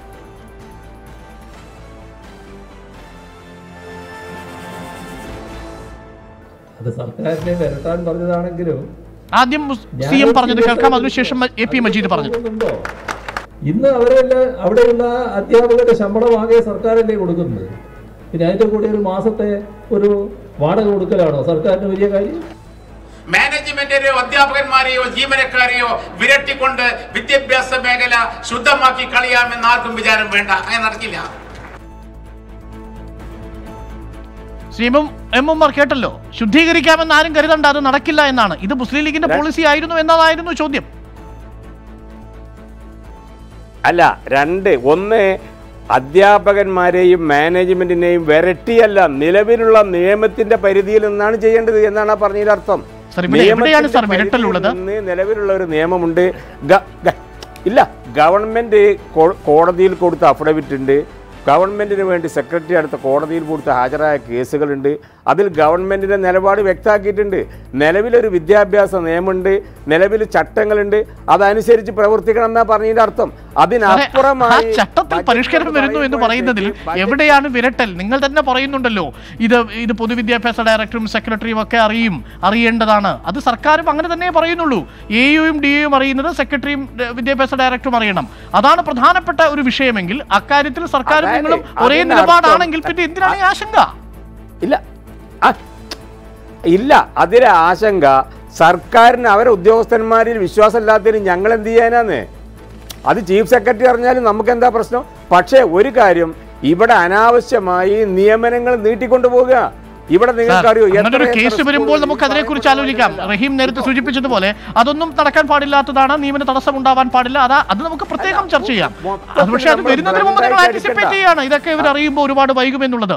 നമുക്ക് അതിലേക്ക് കൂടി വരാൻ കഴിയില്ല. പക്ഷേ എനിക്ക് ഇനിയും ബോധ്യമാവാത്തത് നിങ്ങൾ ഇതൊക്കെ അറിയണമെന്ന നിലപാടാണെങ്കിൽ കെ ആർ പരിഷ്കരണത്തെ എതിർക്കേണ്ടതുണ്ടോ എന്നാണ്. നിങ്ങൾ യുദ്ധം ചെയ്യുന്നത് നിഴലിനോടാണ് എന്ന റഹീമിന്റെ സ്റ്റേറ്റ്മെന്റ് ഇപ്പോഴും ഈ ഘട്ടത്തിലും വാലിഡ് ആണ്. ഞാൻ ഒരിക്കൽ കൂടി നമ്മുടെ ഫാദറിലേക്ക് വരുന്നു. ഫാദർ വർക്കി ആറ്റുപുറത്ത്.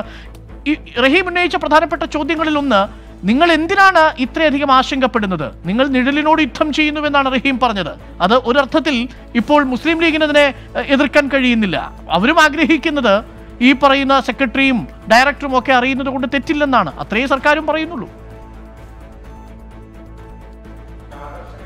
ഒരു ആകർഷണീയമായ ഒരു വാക്ക് പറഞ്ഞു എന്നുള്ളതേ ഉള്ളൂ. നീഡലിനോട് യുദ്ധം ചെയ്യുക എന്നുള്ളത്. അതല്ല നമ്മുടെ ഇവിടുത്തെ വിഷയം.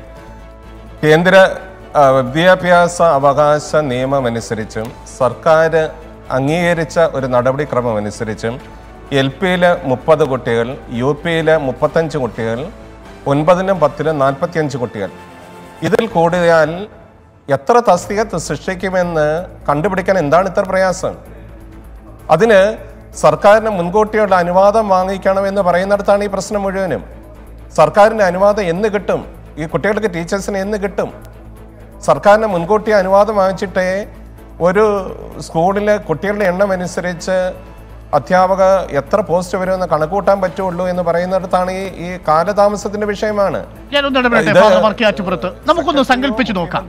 അടുത്ത അധ്യയന വർഷം അവസാനം വിരമിക്കാൻ പോകുന്ന ഒരു അധ്യാപകനുണ്ട് എന്നുള്ളത് മാനേജ്മെന്റിന് ഇക്കാര്യം നേരത്തെ അറിയാവുന്ന കാര്യമാണല്ലോ. അടുത്ത വർഷം ഒരു പുതിയ അധ്യാപകനെ നിയമിക്കണം എന്നുള്ളത് സർക്കാരിനോട് ആവശ്യപ്പെടുന്നതിൽ തടസ്സമില്ലല്ലോ.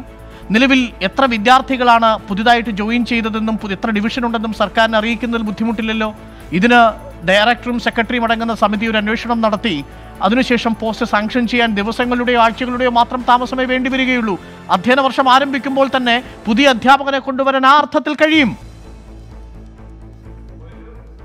ഒരു പ്രതിസന്ധിയും ഇല്ലാത്ത റിട്ടയർമെന്റ് പോസ്റ്റിൽ നിയമിച്ചിരിക്കുന്ന അധ്യാപകർക്ക് പോലും വർഷങ്ങളോളമായിട്ട് ഇവിടെ അംഗീകാരം കിട്ടുന്നില്ല. രണ്ടായിരത്തി പതിനാറ് ശേഷമുള്ള പല പോസ്റ്റുകളിലും ഇവിടെ അംഗീകാരം കിട്ടുന്നില്ല. അപ്പോൾ ആ വിഷയം തന്നെ വളരെ കോംപ്ലിക്കേറ്റഡ് ആയിട്ട് കിടക്കുമ്പോൾ ഇനിയും നിയമനം മുൻകൂട്ടി അനുവാദം വാങ്ങിച്ച് പോസ്റ്റിന്റെ അനുവാദം വാങ്ങിച്ച് നിയമനം നടത്താൻ അനുവാദം വാങ്ങിച്ച് ഈ എത്ര വർഷങ്ങളെ കാത്തിരുന്നാലാണ് ഈ നിയമനത്തിന് അംഗീകാരം കിട്ടുന്നത് ഈ ടീച്ചേഴ്സിന്? ഇപ്പൊ തന്നെ? കണക്കെടുത്ത് നിലവിലൊരു പൊതുവേ കേൾക്കുന്ന ഒരു ഒരു ഒരു ഒരു കിംവദന്തി എന്ന് ഈ ഘട്ടത്തിൽ വിശേഷിപ്പിക്കാം. ചിലരെങ്കിലും പറയുന്നു യാഥാർത്ഥ്യമാണെന്ന്. ഈ മാനേജ്മെന്റ് അസോസി മാനേജ്മെന്റ് സ്ഥാപനങ്ങളിൽ വിദ്യാർത്ഥികളുടെ തല അമിതമായി എണ്ണി ഈ ആധാർ കാർഡൊക്കെ വരുന്നതിന് മുൻപ് അത്തരത്തിൽ വ്യാജ നമ്പറുകൾ ഉണ്ടാക്കി തസ്തികകൾ സൃഷ്ടിക്കുന്ന ഒരു ഏർപ്പാട് നിലവിൽ ഉണ്ടായിരുന്നില്ലേ? അങ്ങേക്ക് അറിവുള്ളതല്ലേ? അങ്ങയുടെ മാനേജ്മെന്റിന്റെ കാര്യമല്ല. കേരളത്തിൽ അങ്ങനെ ഒരു സമ്പ്രദായം ഉണ്ടായിരുന്നു എന്നാണ്. ഇവിടെ ഈ കഴിഞ്ഞ ദിവസത്തെ ന്യൂസിൽ വന്നത് ഗവൺമെന്റ് സ്കൂളിൽ ഒരു സ്കൂളിൽ നൂറ് കുട്ടികളെ ഇല്ലാത്ത കുട്ടികളുടെ പേരെഴുതി ചേർത്ത് ഇത് ഏരുടെ സ്കൂളിനെ എന്തിനാ മാത്രം മാറ്റി നിർത്തി പ്രതിക്കൂട്ടിലാക്കുന്നത്? അങ്ങനെയുണ്ട് കണ്ടുപിടിക്കണം. ഇന്ന് എല്ലാം സുതാര്യമല്ലേ? എല്ലാം ഓൺലൈനല്ലേ ആധാർ കാർഡ് വെച്ച് കുട്ടികളുടെ പേര് ചേർക്കുന്നു. ഇല്ലാത്ത കുട്ടികളുടെ പേരുണ്ട് കണ്ടുപിടിക്കണം നടപടിയെടുക്കണം സ്കൂളിന്റെ വേണമെങ്കിൽ അംഗീകാരം ക്യാൻസൽ ചെയ്യാം. മാനേജ്മെന്റ് അതിനോട് തയ്യാറാണ്. ശ്രീ കെ ജെ ഹരികുമാർ ഞാൻ അങ്ങയിലേക്ക് തിരികെ വരാം. കെ ജെ ഹരികുമാർ ഇതാണ് ഫാദർ പറയുന്നത്. നിലവിൽ സംസ്ഥാന സർക്കാർ കൊണ്ടുവരാൻ ഉദ്ദേശിക്കുന്ന കെ ആർ പരിഷ്കരണം കൂടുതൽ കാലതാമസം എടുക്കും അധ്യാപക നിയമനത്തിന്. അത് നിലവിൽ അങ്ങനെ വരി കാലതാമസം വരികയാണെങ്കിൽ അധ്യാപകരെ കിട്ടാതെ വന്നാൽ അത് കേന്ദ്ര സർക്കാർ പാസാക്കിയിരിക്കുന്ന ഭരണഘടനയുടെ മൗലികാവകാശമായ വിദ്യാഭ്യാസ അവകാശ നിയമത്തിന്റെ നിഷേധം കൂടിയാകും എന്നാണ്. അതുകൊണ്ടാണ് അവർ ഇതിനെ എതിർക്കുന്നത് എന്നാണ് കെ ജെ ഹരികുമാർ. അല്ല ഇവരെല്ലാവരും ഈ വിദ്യാഭ്യാസ അവകാശ നിയമത്തിൽ പഠിച്ചിരിക്കുകയാണ് വിദ്യാഭ്യാസ അവകാശ നിയമത്തിൽ എൽ പി ക്ലാസ്സുകളിൽ വൺ ടു ഫൈവ് ആണ് അവരുടെ കണക്കിൽ എൽ പി എന്ന് പറയുന്നത്. അറുപത് കുട്ടിക്ക് രണ്ട് അധ്യാപകൻ എന്നാണ് പറഞ്ഞിരിക്കുന്നത്. ഇത് ക്ലാസ് വൈസ് ആണോ സ്കൂൾ വൈസ് ആണോ ഇങ്ങനെയുള്ള യാതൊരു വിധമായ കാര്യങ്ങളും അതിനകത്ത് മെൻഷൻ ചെയ്തിട്ടില്ല. അത് പരിശോധിക്കാവുന്നതാണ്. അപ്പോൾ അതിന്റെ അടിസ്ഥാനത്തിൽ മാനേജ്മെന്റുകൾ കോടതിയെ സമീപിക്കുകയും കോടതിയിൽ നിന്ന് അത് ക്ലാസ് വൈസ് ആക്കണമെന്ന് ഉത്തരവ് വന്നതിന്റെ അടിസ്ഥാനത്തിൽ രണ്ടായിരത്തി പതിനഞ്ച് ആണ് രണ്ടായിരത്തി പതിനാറ് ഫെബ്രുവരി. ഞാൻ ഏകദേശം അതാണ് എന്റെ ഒരു ഊഹം. അങ്ങനെയാണെന്ന് പൊതുവിദ്യാഭ്യാസ ഡയറക്ടറായിരുന്ന അന്നത്തെ പൊതുവിദ്യാഭ്യാസ ഡയറക്ടർ ജയാമാഡമാണ് ഈ ഉത്തരവിറക്കിയത്. മുപ്പതിന് ഒന്നും ഒരു കുട്ടിയുടെ ആയാൽ രണ്ടാമത്തെ ഡിവിഷൻ കൊടുക്കാം അത് ഒന്ന് മുതൽ അഞ്ച് വരെയുള്ള ക്ലാസ്സുകളിൽ ആറ് ഏഴ് എട്ട് ക്ലാസ്സുകളിൽ ഈ മുപ്പത്തിയഞ്ച് ഒന്നുകൂടെ ആയാൽ മുപ്പത്താറിന് രണ്ട് കൊടുക്കാം. അപ്പോൾ ഇത്തരത്തിൽ ഈ അന്നത്തെ സർക്കാർ ഇത്തരത്തിലൊരു സമീപനം സ്വീകരിച്ചത് ശരിയാണോ എന്ന് പരിശോധിക്കുമെന്നാണ് പിന്നെ ഈ നമ്മുടെ ബജറ്റുമായി ബന്ധപ്പെട്ട് വന്നത്.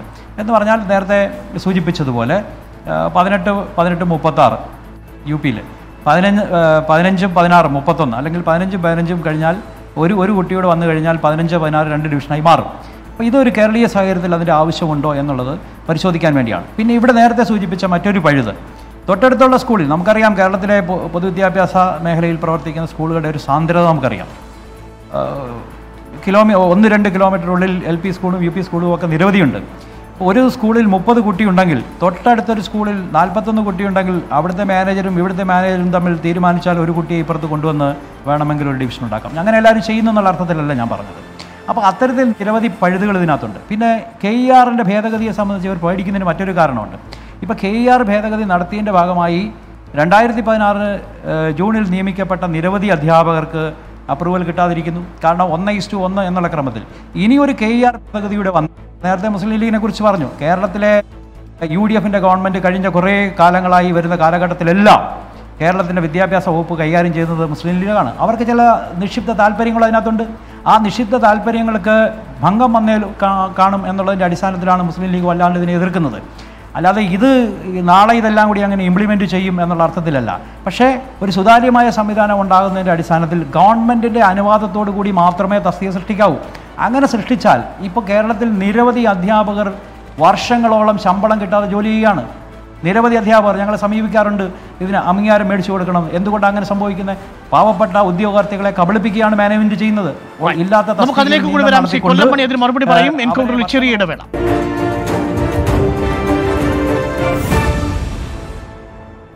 എൻകൗണ്ടർ പരിശോധിക്കുന്നു. വീണ്ടും ഒരു മുണ്ടശ്ശേരി കാലമോ എന്നാണ് കൊല്ലം പണി. അങ്ങേക്ക് മറുപടി പറയാം. ഒപ്പം തന്നെ നമുക്ക് ഇനിയുള്ള സമയം ഒരു പത്ത് മിനിറ്റിൽ താഴെ സമയം മാത്രമേ ഉള്ളൂ എന്നുള്ളത് കൊണ്ട് ചുരുങ്ങിയ സമയം കൊണ്ട് അതിഥികൾ മറുപടി നൽകി ചോദ്യങ്ങൾ ചോദിച്ചു പോകണമെന്ന് അഭ്യർത്ഥിക്കുക കൂടി ചെയ്യുന്നു. ഒറ്റ കാര്യം കൂടി. ഇതിൽ മുഖ്യമന്ത്രി പറഞ്ഞൊരു പ്രധാനപ്പെട്ട കാര്യമുണ്ട്. മാനേജ്മെന്റുകൾ നഷ്ടം സഹിച്ച് അങ്ങനെ നടത്തണമെന്നില്ല. വാടകയ്ക്ക് നിങ്ങൾ തരാൻ തയ്യാറാണെങ്കിൽ സർക്കാർ വാടക നൽകി ഏറ്റെടുക്കാൻ തയ്യാറാണെന്ന് പറയുകയും ചെയ്യുന്നു വിദ്യാഭ്യാസ സ്ഥാപനങ്ങൾ. അതിനോട് എങ്ങനെയാണ് കൊല്ലം മണി നിങ്ങളടക്കമുള്ളവർ പ്രതികരിക്കുന്നത്? ഒരു നിമിഷം ആ ക്ലാസ് പി ടി ആർ ആണ് നമ്മൾ ചർച്ച അതിൽ ഒരു നിമിഷ- ഞാനൊന്ന് പറഞ്ഞോട്ടെ. അപ്പോൾ അതിൽ ക്ലാസ് പി ടി ആർ ആണ് നമ്മുടെ വിഷയമെങ്കിൽ ക്ലാസ് പി നമുക്ക് ക്ലാസ് പി ടി ആർ ആണ് നമ്മുടെ വിഷയമെങ്കിൽ നമുക്ക് അതിനകത്ത് മാറ്റം വരുത്തണമെന്നുണ്ടെങ്കിൽ വിദ്യാഭ്യാസ അവകാശ നിയമത്തിൽ മാറ്റം വരുത്തണം. ഇത് സംബന്ധിച്ച് ശ്രീ അരികുമാറിനും പോലെയുള്ളവർക്കും എനിക്കുമൊക്കെ സംശയം ഉണ്ടായതാണ് രണ്ടായിരത്തി പതിനാറിൽ. ഇത് കോടതിയിലെത്തുകയും സുപ്രീം കോടതിയിൽ പോവുകയും അന്തിമ വിധി വരികയും ചെയ്തത്. വിദ്യാഭ്യാസ അവകാശ നിയമത്തിലെ പിന്നെ അറുപത്തിനാല് അറുപത്തഞ്ച് മലയാളത്തിലും ഇംഗ്ലീഷിലും ഇതെടുത്ത് വായിച്ചു നോക്കുക. അതിൽ കോടതി തന്നെ ക്ലാരിഫൈ ചെയ്തിട്ടുണ്ട്. ഒരു കാരണം ഒരു കാരണവശാലും മുപ്പത് മുപ്പത് കുട്ടികൾക്ക് അപ്പുറം വയ്ക്കാൻ പാടില്ല എന്ന് കൃത്യമായ കോടതി വിധിയുണ്ട്. എന്തുകൊണ്ടാണ് ഗവൺമെന്റ് ഈ ഇതിൽ മാറ്റം വരുത്താൻ പറ്റാത്ത പോകുന്നത്? അപ്പം അത് മാറ്റം വരുത്താൻ കഴിയില്ല എന്ന് ഗവൺമെന്റ് വ്യക്തമായി അറിയാം. അപ്പോൾ ഇത് ഇനി ഒരു ഒന്നര വർഷക്കാലം ഇത് എങ്ങനെയും ഈ പറഞ്ഞ കണക്ക് അയ്യായിരത്തോളം വരുന്ന അധ്യാപകർ രണ്ടായിരത്തി പതിനാറ് പോലെ ശമ്പളം അല്ല ശ്രീ. കൊല്ലമണിയുടെ ഒരു ന്യായമായ സംശയം. ഈ വിദ്യാഭ്യാസ അവകാശ നിയമത്തിന്റെ പരിധിയിൽ നിന്നുകൊണ്ട് തന്നെ ജനസാന്ദ്രതയും വിദ്യാഭ്യാസ സ്ഥാപനങ്ങളുടെ സാന്ദ്രതയും കൂടുതലുള്ള കേരള സംസ്ഥാനത്ത് തൊട്ടടുത്തടുത്ത് രണ്ട് സ്കൂളുകൾ ഉണ്ടായിരിക്കെ. പതി മുപ്പത്തി ഒന്ന് എന്ന എണ്ണം തികയ്ക്കാൻ വേണ്ടി അടുത്ത മാനേജ്മെന്റിൽ നിന്ന് വിദ്യാർത്ഥികളെ കടം വാങ്ങുന്ന ഒരു ഏർപ്പാട്. അങ്ങനൊരു ഏർപ്പാടുണ്ടെങ്കിൽ അത് ശരിയല്ലല്ലോ.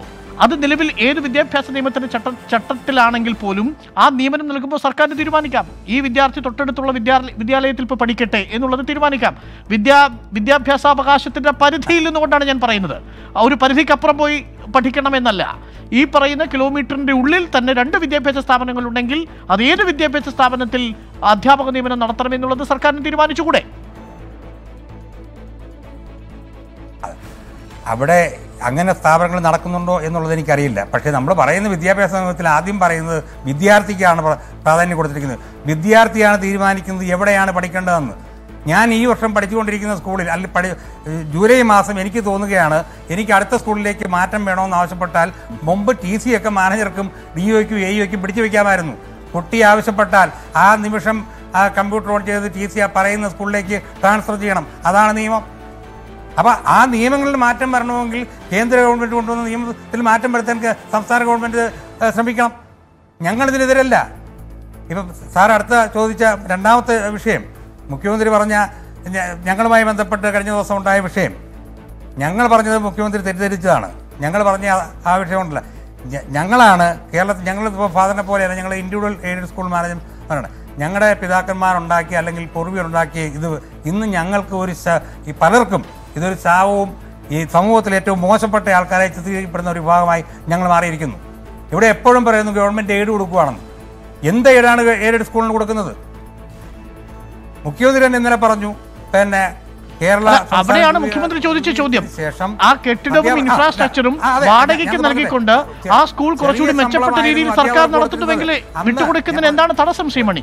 പതിനഞ്ച് രൂപ പതിനഞ്ച് പൈസ ശമ്പളം ഉണ്ടായിരുന്നപ്പോൾ അഞ്ച് പൈസ അന്ന് മെയിന്റനൻസ് ഗ്രാൻഡ് ഈ സ്കൂളുകൾ നടത്തുന്നതിന് മാനേജർ കൊടുത്തിരുന്നു.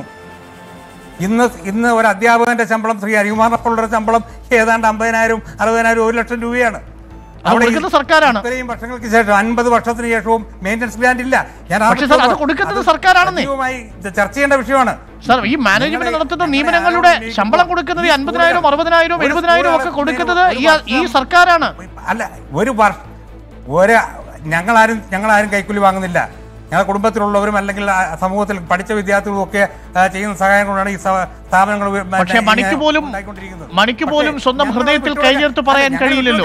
കേരളത്തിലെ സ്വകാര്യ എയ്ഡഡ് സ്കൂളുകളിൽ അധ്യാപക നിയമനം നടക്കുന്നത് കോഴ വാങ്ങാതെ അല്ലെന്ന് അരുൺ സാർ ഞങ്ങൾ ഹൃദയത്തിൽ കൈവച്ച് പറയുന്നു ഗവൺമെന്റിന് കെ ഇ റൂൾ ഇലവനിൽ മാറ്റം വരുത്തട്ടെ? മാറ്റം വരുത്തിയിട്ട് റെന്റ് കൊടുക്കുന്നതിൽ സംവിധാനം ഉണ്ടാക്കട്ടെ? ഞങ്ങളിത് ഈ- ഭാവഭാരം ഒഴിയാൻ ചോദ്യത്തിന് ഉത്തരം പറഞ്ഞില്ല. പോലുള്ള അവർക്ക് കഴിയില്ല. ചോദിച്ചോളൂ. ഇപ്പോഴും സ്വകാര്യ എയ്ഡഡ് മാനേജ്മെന്റുകൾ അപ്പോയിന്റ്മെന്റ് നടത്തുന്നതിൽ കോഴകളുടെ കച്ചവടമുണ്ടെന്ന് ഞാൻ പറഞ്ഞാൽ അങ്ങ് ഹൃദയത്തിൽ കൈവച്ചുകൊണ്ട് നിഷേധിക്കുമോ? ഞങ്ങളെ പോലുള്ളവർ ഹൃദയത്തിൽ കൈവച്ചുകൊണ്ട് നിഷേധിക്കും. പിന്നെ എന്നാൽ ചിലർ ബാക്കി അല്ലെങ്കിൽ- അതിന്റെ അർത്ഥം. ഞങ്ങൾ ഒരുമിച്ചെന്ന് പറയാൻ അങ്ങേക്ക് കഴിയുന്നില്ല. സ്വകാര്യ എയ്ഡഡ് മാനേജ്മെന്റുകൾ ഒരുമിച്ച് പറയാനുള്ള ധൈര്യം ഇപ്പോഴും ശ്രീ കൊല്ലം മണി അങ്ങേക്കില്ല. ഇത് തന്നെയാണ് സർക്കാരിന്റെ ആശങ്ക. കോഴ വാങ്ങുന്ന ഒരു 2007 മാനേജ്മെന്റിന് എന്തും കാണിക്കാം. ധൈര്യമായി കൈവച്ച് പറയാൻ കഴിയും. എല്ലാ മാനേജ്മെന്റുകളും എന്ന് ധൈര്യപൂർവം. കൈവച്ച് പറയാൻ കഴിയുമോ എന്നാണ് ചോദ്യം മണി. മുഖ്യമന്ത്രി ഉന്നയിച്ച ആവശ്യം മുഖ്യമന്ത്രി ഉന്നയിച്ച ആവശ്യം അംഗീകരിക്കാൻ ഞങ്ങൾ തയ്യാറാണെന്ന് പറഞ്ഞല്ലോ. ഇൻഡിവിജ്വൽ മാനേജർമാർ അതിന് തയ്യാറാണ്. തയ്യാറാണ്. That- that- that's a great point. That's a great point. Sri Shri Sri Rahim. നിയമിക്കട്ടെ? അതെ ചോദ്യമുണ്ടോ? നേരിട്ട് പറഞ്ഞാൽ മതിയല്ലോ. ആ പറഞ്ഞോളൂ. അതായത് ശ്രീ ഉമ്മർ ഈ എല്ലാവരോടുമായിട്ടാണ് എനിക്ക് പറയാനുള്ളത്. വീണ്ടും ഞാൻ ആ പറഞ്ഞ വാചകം ആവർത്തിക്കുന്നു. ഒരാവശ്യമില്ലാത്തൊരു ശത്രുവിനെ സൃഷ്ടിച്ച് വെറുതെ യുദ്ധം ചെയ്യേണ്ടത് ആവശ്യമില്ല. ലീഗിലൊക്കെ രാഷ്ട്രീയ താല്പര്യം കാണും. പക്ഷേ ഈ മാനേജ്മെന്റ് അതിനനുസരിച്ച് നിൽക്കുന്നത് യുക്തിസഹമാകില്ല എന്നുള്ള അഭിപ്രായമാണ് എനിക്ക് പങ്കുവയ്ക്കാനുള്ളത് രണ്ടായിരത്തി പതിനൊന്ന് രണ്ടായിരത്തി പതിനാറിൽ യു ഡി എഫിന്റെ കാലത്ത് നാല് ലക്ഷത്തി തൊണ്ണൂറ്റൊമ്പതിനായിരത്തി നാനൂറ്റി അൻപത് വിദ്യാർത്ഥികളാണ് കേരളത്തിന്റെ പൊതുവിദ്യാലയങ്ങളിൽ കുറഞ്ഞത്. ശ്രീ ഉമ്മർ ഇത് കേൾക്കണം. പക്ഷേ ഈ ഗവൺമെന്റിന്റെ കാലത്ത് ഇതുവരെ അഞ്ച് ലക്ഷത്തോളം വിദ്യാർത്ഥികൾ വർദ്ധിച്ചു. ശ്രീ കൊല്ലമണിയോടും അതോടൊപ്പം തന്നെ ബഹുമാനപ്പെട്ട ശ്രീ ആറ്റുപുറാച്ചനോടും ഞാൻ ചോദിക്കുന്നൊരു കാര്യം. ഈ ഗവൺമെന്റിന്റെ ഇടപെടൽ കൊണ്ടല്ലേ? നിങ്ങളൊരു സങ്കല്പിച്ച് നോക്കൂ യു ഡി എഫ് ആണ് ഇപ്പോൾ കേരളം ഭരിച്ചിരുന്നെങ്കിൽ കേരളത്തിലെ ഏതെങ്കിലും ഒരു പള്ളിക്കൂടം മിച്ചമുണ്ടാകുമായിരുന്നോ? അത് എയ്ഡഡ് ആകട്ടെ ഗവൺമെന്റ് ആകട്ടെ പൊതുവിദ്യാലയം ഒരെണ്ണം മിച്ചമുണ്ടാകുമോ? എല്ലാം മലാപ്പറമ്പ് പള്ളിക്കൂടമായി മാറിയനെ അടച്ചുപൂട്ടിയ പള്ളിക്കൂടങ്ങളായി മാറിയനെ. എത്ര വലിയ മാറ്റമാണ് ഈ ഗവൺമെന്റ് സൃഷ്ടിച്ചത്? ആ ഗവൺമെന്റ് ഇവിടെ ഏതെങ്കിലും ഒരു ഘട്ടത്തിൽ എയ്ഡഡ് മാനേജ്മെന്റിനെ മാറ്റി നിർത്തിയോ? ശ്രീ മണി ചോദിക്കുകയാണ് എന്താണ് ലഭിച്ചത്? എന്താണ് ലഭിച്ചതെന്നൊക്കെ ശ്രീ മണി ഇങ്ങനെ പറയരുത് കേട്ടോ. എത്താ നോക്കൂ നിങ്ങൾ കേരളത്തിലെ സ്കൂളുകളെ ഹൈടെക് സ്കൂളുകളാക്കി മാറ്റി. ഹൈടെക് ക്ലാസ് മുറികളാക്കി മാറ്റുകയാണ് ഇന്ത്യയിൽ ആദ്യമായി ഒരു സർക്കാർ. അവിടെ എയ്ഡഡ് സ്കൂളിനെ മാറ്റി നിർത്തിയില്ല. എയ്ഡഡ് സ്കൂളിനെയും കൃത്യമായി ഈ പദ്ധതിയുടെ ഭാഗമാക്കി മാറ്റി. വളരെ കൃത്യമാക്കി ഭാഗമാക്കി മാറ്റി. രണ്ട് ചലഞ്ച് ഫണ്ട് കൊണ്ടുവന്നു. ചലഞ്ച് ഫണ്ടിൽ സർക്കാർ ഒരു ഫണ്ട് കൊടുക്കുകയാണ്. എന്നിട്ട് ബാക്കി ഭാഗം മാനേജ്മെന്റും പി ടി ഐയും ഒക്കെ ചേർന്നിട്ട് ബാക്കി തുകയും കണ്ടെത്തട്ടെ. ശരി എ റഹീം എനിക്ക് കേരളത്തിന്റെ- സമയപരിമിതി ഉള്ളത് കൊണ്ട് മാത്രം കെ മണിക്കൂർ ശ്രീ കൊല്ലം മണിക്കൂർ പ്രതികരണം കൂടി. അതിനുശേഷം വരാം. നമുക്ക് മൂന്ന് മിനിറ്റ് സമയം ബാക്കിയുള്ളൂ. ശ്രീ മണി ഓക്കെ. ഇപ്പോൾ അവസാനം പറഞ്ഞു തന്നെ ഞങ്ങൾ ചലഞ്ച് ഫണ്ട് ചലഞ്ച് ഫണ്ട് വാങ്ങാറില്ല. എന്തുകൊണ്ട് എന്ന് പറഞ്ഞാൽ ചലഞ്ച് ഫണ്ട് തന്നെ പഠിക്കേണ്ട ഒരു വിഷയമാണ്. ഈ ചലഞ്ച് ആയിരത്തി ഇരുന്നൂറ് രൂപയ്ക്ക് സ്ക്വയർ ഫീറ്റിൽ ഇന്ന് ഒരു സ്കൂൾ ബിൽഡിംഗ് വയ്ക്കാകുമ്പോൾ പി ഡബ്ല്യു റേറ്റ് രണ്ടായിരത്തി ഇരുന്നൂറ് രൂപ കൊടുത്ത് ചലഞ്ച് ഫണ്ട് മേടിക്കാൻ ഞങ്ങൾ ട്രഷറിയിൽ കൊണ്ട് പണം അടയ്ക്കണമെന്ന് പറയുന്നത് സാങ്കേതികത്വത്തിലേക്ക് പോകണ്ട. പക്ഷേ സ്മാർട്ട് നിലവിൽ പൊതു വിദ്യാഭ്യാസ സ്ഥാപനങ്ങളിൽ. വിദ്യാർത്ഥികൾ എത്തി എന്നുള്ളതും വസ്തുതാപരമാണെന്ന് താങ്കൾ കൂടി അംഗീകരിക്കുന്നു അഞ്ച് ലക്ഷം വിദ്യാർത്ഥികൾ ഈ ഗവൺമെന്റ് അഞ്ച് ലക്ഷം വിദ്യാർത്ഥികൾ ഈ ഗവൺമെന്റ് കാലഘട്ടത്തിൽ വന്നു എന്ന് ഗവൺമെന്റ് തന്നെ പറയുന്നു. അങ്ങനെയാണെങ്കിൽ ഈ അഞ്ച് ലക്ഷം വിദ്യാർത്ഥികൾ പുതുതായി വന്നാൽ ഈ അഞ്ച് ലക്ഷം വിദ്യാർത്ഥികൾ പഠിപ്പിക്കാൻ അധ്യാപകർ വേണ്ടേ? അങ്ങനെയല്ലേ ഈ പറയുന്നത്? സംരക്ഷിത അധ്യാപകർ പതിമൂവായിരത്തിലധികം ഉണ്ട് എന്ന് സർക്കാർ തന്നെ കണക്ക് പറയുന്നുണ്ട് sir. Shri Ummer M L A. അവർക്ക് അതായത് സി പി ഐ എമ്മിനെ സംബന്ധിച്ചിടത്തോളം ലക്ഷം സി- പി ഐ എമ്മിനെ സംബന്ധിച്ചിടത്തോളം സി പി ഐ എമ്മിന് സി പി ഐ എമ്മിനെ സംബന്ധിച്ചിടത്തോളം റഹീം പറഞ്ഞ മാതിരി യാതൊരു രാഷ്ട്രീയ താല്പര്യമല്ല. വെറും ആത്മീയ താല്പര്യം മാത്രമാണ്. ആത്മീയതയ്ക്ക് വേണ്ടിയിട്ടാണ് അവർ വിദ്യാഭ്യാസ പ്രവർത്തനം രാഷ്ട്രീയ പ്രവർത്തനമൊക്കെ നടത്തുന്നത്. അതങ്ങ് മനസ്സിൽ വെച്ചാൽ മതി. സി പി എമ്മിന് കൃത്യമായ രാഷ്ട്രീയമുണ്ട്. ആ രാഷ്ട്രീയം തന്നെയാണ് അവർ എല്ലാ കാര്യത്തിലും കളിച്ചുകൊണ്ടിരിക്കുന്നത്. സി പി എമ്മിന്റെ അത്ര ശ്രീ റഹീം ചോദിച്ചത് അഞ്ച് ലക്ഷത്തിലധികം പുതിയ വിദ്യാർത്ഥികളെ സ്കൂളുകളിലേക്ക് എൽ ഡി എഫ് സർക്കാർ തിരികെ കൊണ്ടുവന്നു എന്നുള്ളത് വസ്തുതയല്ലേ എന്നാണ് റഹീം ചോദിക്കുന്നത്. നിഷേധിക്കാനാകുമോ അങ്ങേക്ക്? അല്ല ഇല്ല അതിന് അല്ല ഇതിന് കഴിഞ്ഞ വർഷത്തെ കണക്കെടുത്ത് നോക്കണം. അബ്ദുൾ റബ്ബ് വിദ്യാഭ്യാസ വകുപ്പ് മന്ത്രിയായിരുന്നപ്പോൾ കഴിഞ്ഞ ഗവൺമെന്റിന്റെ കാലത്താണ് ഏറ്റവും കൂടുതൽ കുട്ടികൾ. ഇല്ല അതിനുശേഷം ഇല്ല ഇതൊരു തുടർ പ്രോസസ്സാണ് കഴിഞ്ഞ വർഷം തന്നെ കഴിഞ്ഞ ഗവൺമെന്റ് കാലത്ത് തന്നെ കുട്ടികളുടെ എണ്ണം കൂടിയിട്ടുണ്ട്. അത് സ്വാഭാവികമായി അതിന്റെ ഒരു പ്രവർത്തനം അപ്പൊ ഞങ്ങളൊക്കെ ഞങ്ങളുടെ. Fund M L A fund ഇത് മുഴുവൻ ചെലവഴിക്കുന്നത് പൊതുവിദ്യാഭ്യാസത്തിന് വേണ്ടിയിട്ടാ. അതല്ലാതെ അതല്ലാതെ നിങ്ങളുടെ കാലത്ത് അതല്ലാതെ നിങ്ങളുടെ ഈ കാലത്ത് സി പി എമ്മിന്റെ മാത്രമല്ല ഫണ്ടൊന്നുമല്ല ഞങ്ങളുടെ ആസ്തി വികസന ഫണ്ടും എല്ലാം കൊടുക്കുന്നത് പൊതുവിദ്യാഭ്യാസം ശക്തിപ്പെടുത്തുന്നതിന് വേണ്ടി മാത്രം നിങ്ങൾ മനസ്സിലാക്കണം. അതല്ലാതെ സി പി എമ്മിന്റെ മാത്രം പ്രവർത്തനമൊന്നുമല്ല. കഴിഞ്ഞ കാലത്ത് നടത്തിയ പ്രവർത്തനത്തിന്റെ തുടർച്ചയായിട്ട് ഇപ്പോൾ നടക്കുന്നുണ്ട്. അതിന് സി പി എമ്മിന് ഏത് കാര്യത്തിലും രാഷ്ട്രീയ താല്പര്യമുണ്ട് ഒരു സംശയമല്ല സംശയം വേണ്ട. അപ്പൊ ഞങ്ങൾക്ക് വേണ്ടി മുസ്ലിം ലീഗിന് മാത്രം രാഷ്ട്രീയ താല്പര്യം നിങ്ങൾക്ക് രാഷ്ട്രീയ താല്പര്യം എന്ന് പറയുന്നത് ശരിയല്ല. അത് നിർഭാഗ്യകരമെന്ന് റഹീമിനെ പറയട്ടെ കണക്കുകൾ പക്ഷേ നിങ്ങൾക്കെതിരാണ്. ശ്രീ എം ഉമ്മർ കണക്കുകൾ നിങ്ങൾക്കെതിരാണ്. കൊഴിഞ്ഞുപോയ വിദ്യാർത്ഥികളുടെ എണ്ണം കൂട്ടാൻ പോയ പള്ളിക്കൂടങ്ങളുടെ എണ്ണം ഇതെല്ലാം കണക്കുകൾ നിങ്ങൾക്കെതിരാണ്. എം എ ബേബി വിദ്യാഭ്യാസ? ഉണ്ടായ വിദ്യാർത്ഥികളുടെ എണ്ണവും അതിനുശേഷം അബ്ദുറബ് വിദ്യാഭ്യാസ മന്ത്രിയായിരുന്നപ്പോൾ ഉണ്ടായിരുന്ന എണ്ണവും അത് തമ്മിൽ നമ്മൾ താരതമ്യപ്പെടുത്തി നോക്കണം അന്ന് എം എ ബേബി പൊതു വിദ്യാഭ്യാസ വകുപ്പ് കൈകാര്യം ചെയ്തപ്പോണ്ടായ. അതിൽ നിന്ന്. കണക്കുകൾ നമ്മുടെ മുന്നിലുണ്ടല്ലോ നമുക്ക് നോക്കാം ഫാദർ വർക്കി വളരെ ചുരുക്കി മുപ്പത് സെക്കൻഡ് സമയം മാത്രം എന്തായാലും കാര്യങ്ങൾ ഇത്രയും ബോധ്യപ്പെട്ട സ്ഥിതിക്ക് മുഖ്യമന്ത്രി മുന്നിലേക്ക് വെച്ചിരിക്കുന്ന വാഗ്ദാനത്തെ നിങ്ങൾ സ്വീകരിക്കുന്നുണ്ടോ മണി സ്വീകരിക്കാൻ തയ്യാറാണ് വാടകയ്ക്ക് വിട്ടുകൊടുത്താൽ ആ സ്കൂളുകൾ നന്നായി നടത്തിത്തരാമെന്ന് സർക്കാർ പറയുന്നു നൂറ്റാണ്ടുകളോളമായിട്ട് കേരളത്തിൽ ഏഴിട മേഖല പ്രവർത്തിച്ചുകൊണ്ടിരിക്കുന്നു. പൊതുവിദ്യാഭ്യാസ രംഗത്ത് അല്ലെങ്കിൽ ഗവൺമെന്റിന് സ്കൂൾ നടത്താൻ പറ്റാതിരുന്ന ഒരു കാലത്ത് കേരളത്തിലെ വിദ്യാഭ്യാസം ഏറ്റെടുത്ത് നടത്തി നൂറ്റാണ്ടുകളോളമായിട്ട് എയ്ഡഡ് മാനേജ്മെന്റാണ്. അവർ ഒറ്റയടിക്ക് അവരുടെ വില കൊടുത്ത് വാങ്ങിച്ച് അല്ലെങ്കിൽ വാടകയ്ക്കെടുത്ത് അവരെ മാറ്റി നിർത്താനുള്ള ഒരു ഉദ്ദേശമായിട്ട് മാത്രമേ ഇത് കാണാനായിട്ട് സാധിക്കുകയുള്ളൂ. റൈറ്റ് നന്ദി ശ്രീ ഫാദർ വർക്കി നന്ദി എ റഹീം നന്ദി M Ummer M L A K J Harikumar Kollam Mani ചർച്ചയിൽ പങ്കെടുത്ത എല്ലാ അതിഥികൾക്കും നന്ദി അറിയിക്കുന്നു. വിദ്യാഭ്യാസ പരിഷ്കരണങ്ങളാവണം പക്ഷേ അത് വിദ്യാർത്ഥിയെ മുന്നിൽ കണ്ടുകൊണ്ടുള്ളതാവണം. വ്യാജ തസ്തികകൾ എന്നുള്ളത് വിദ്യാഭ്യാസം മുന്നിലേക്ക് വയ്ക്കുന്ന നൈതികതയുടെ അടിവേരറുക്കൽ കൂടിയാണ് എന്ന കാര്യത്തിൽ സംശയമില്ല. എൻകൗണ്ടർ അവസാനിക്കുന്നു. നന്ദി.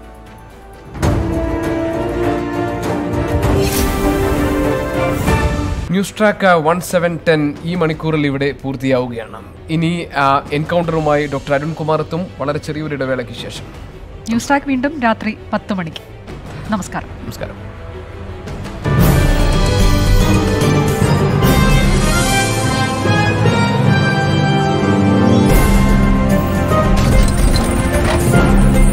Twenty four. അഭിമാനത്തിന്റെ ഒരു വർഷം.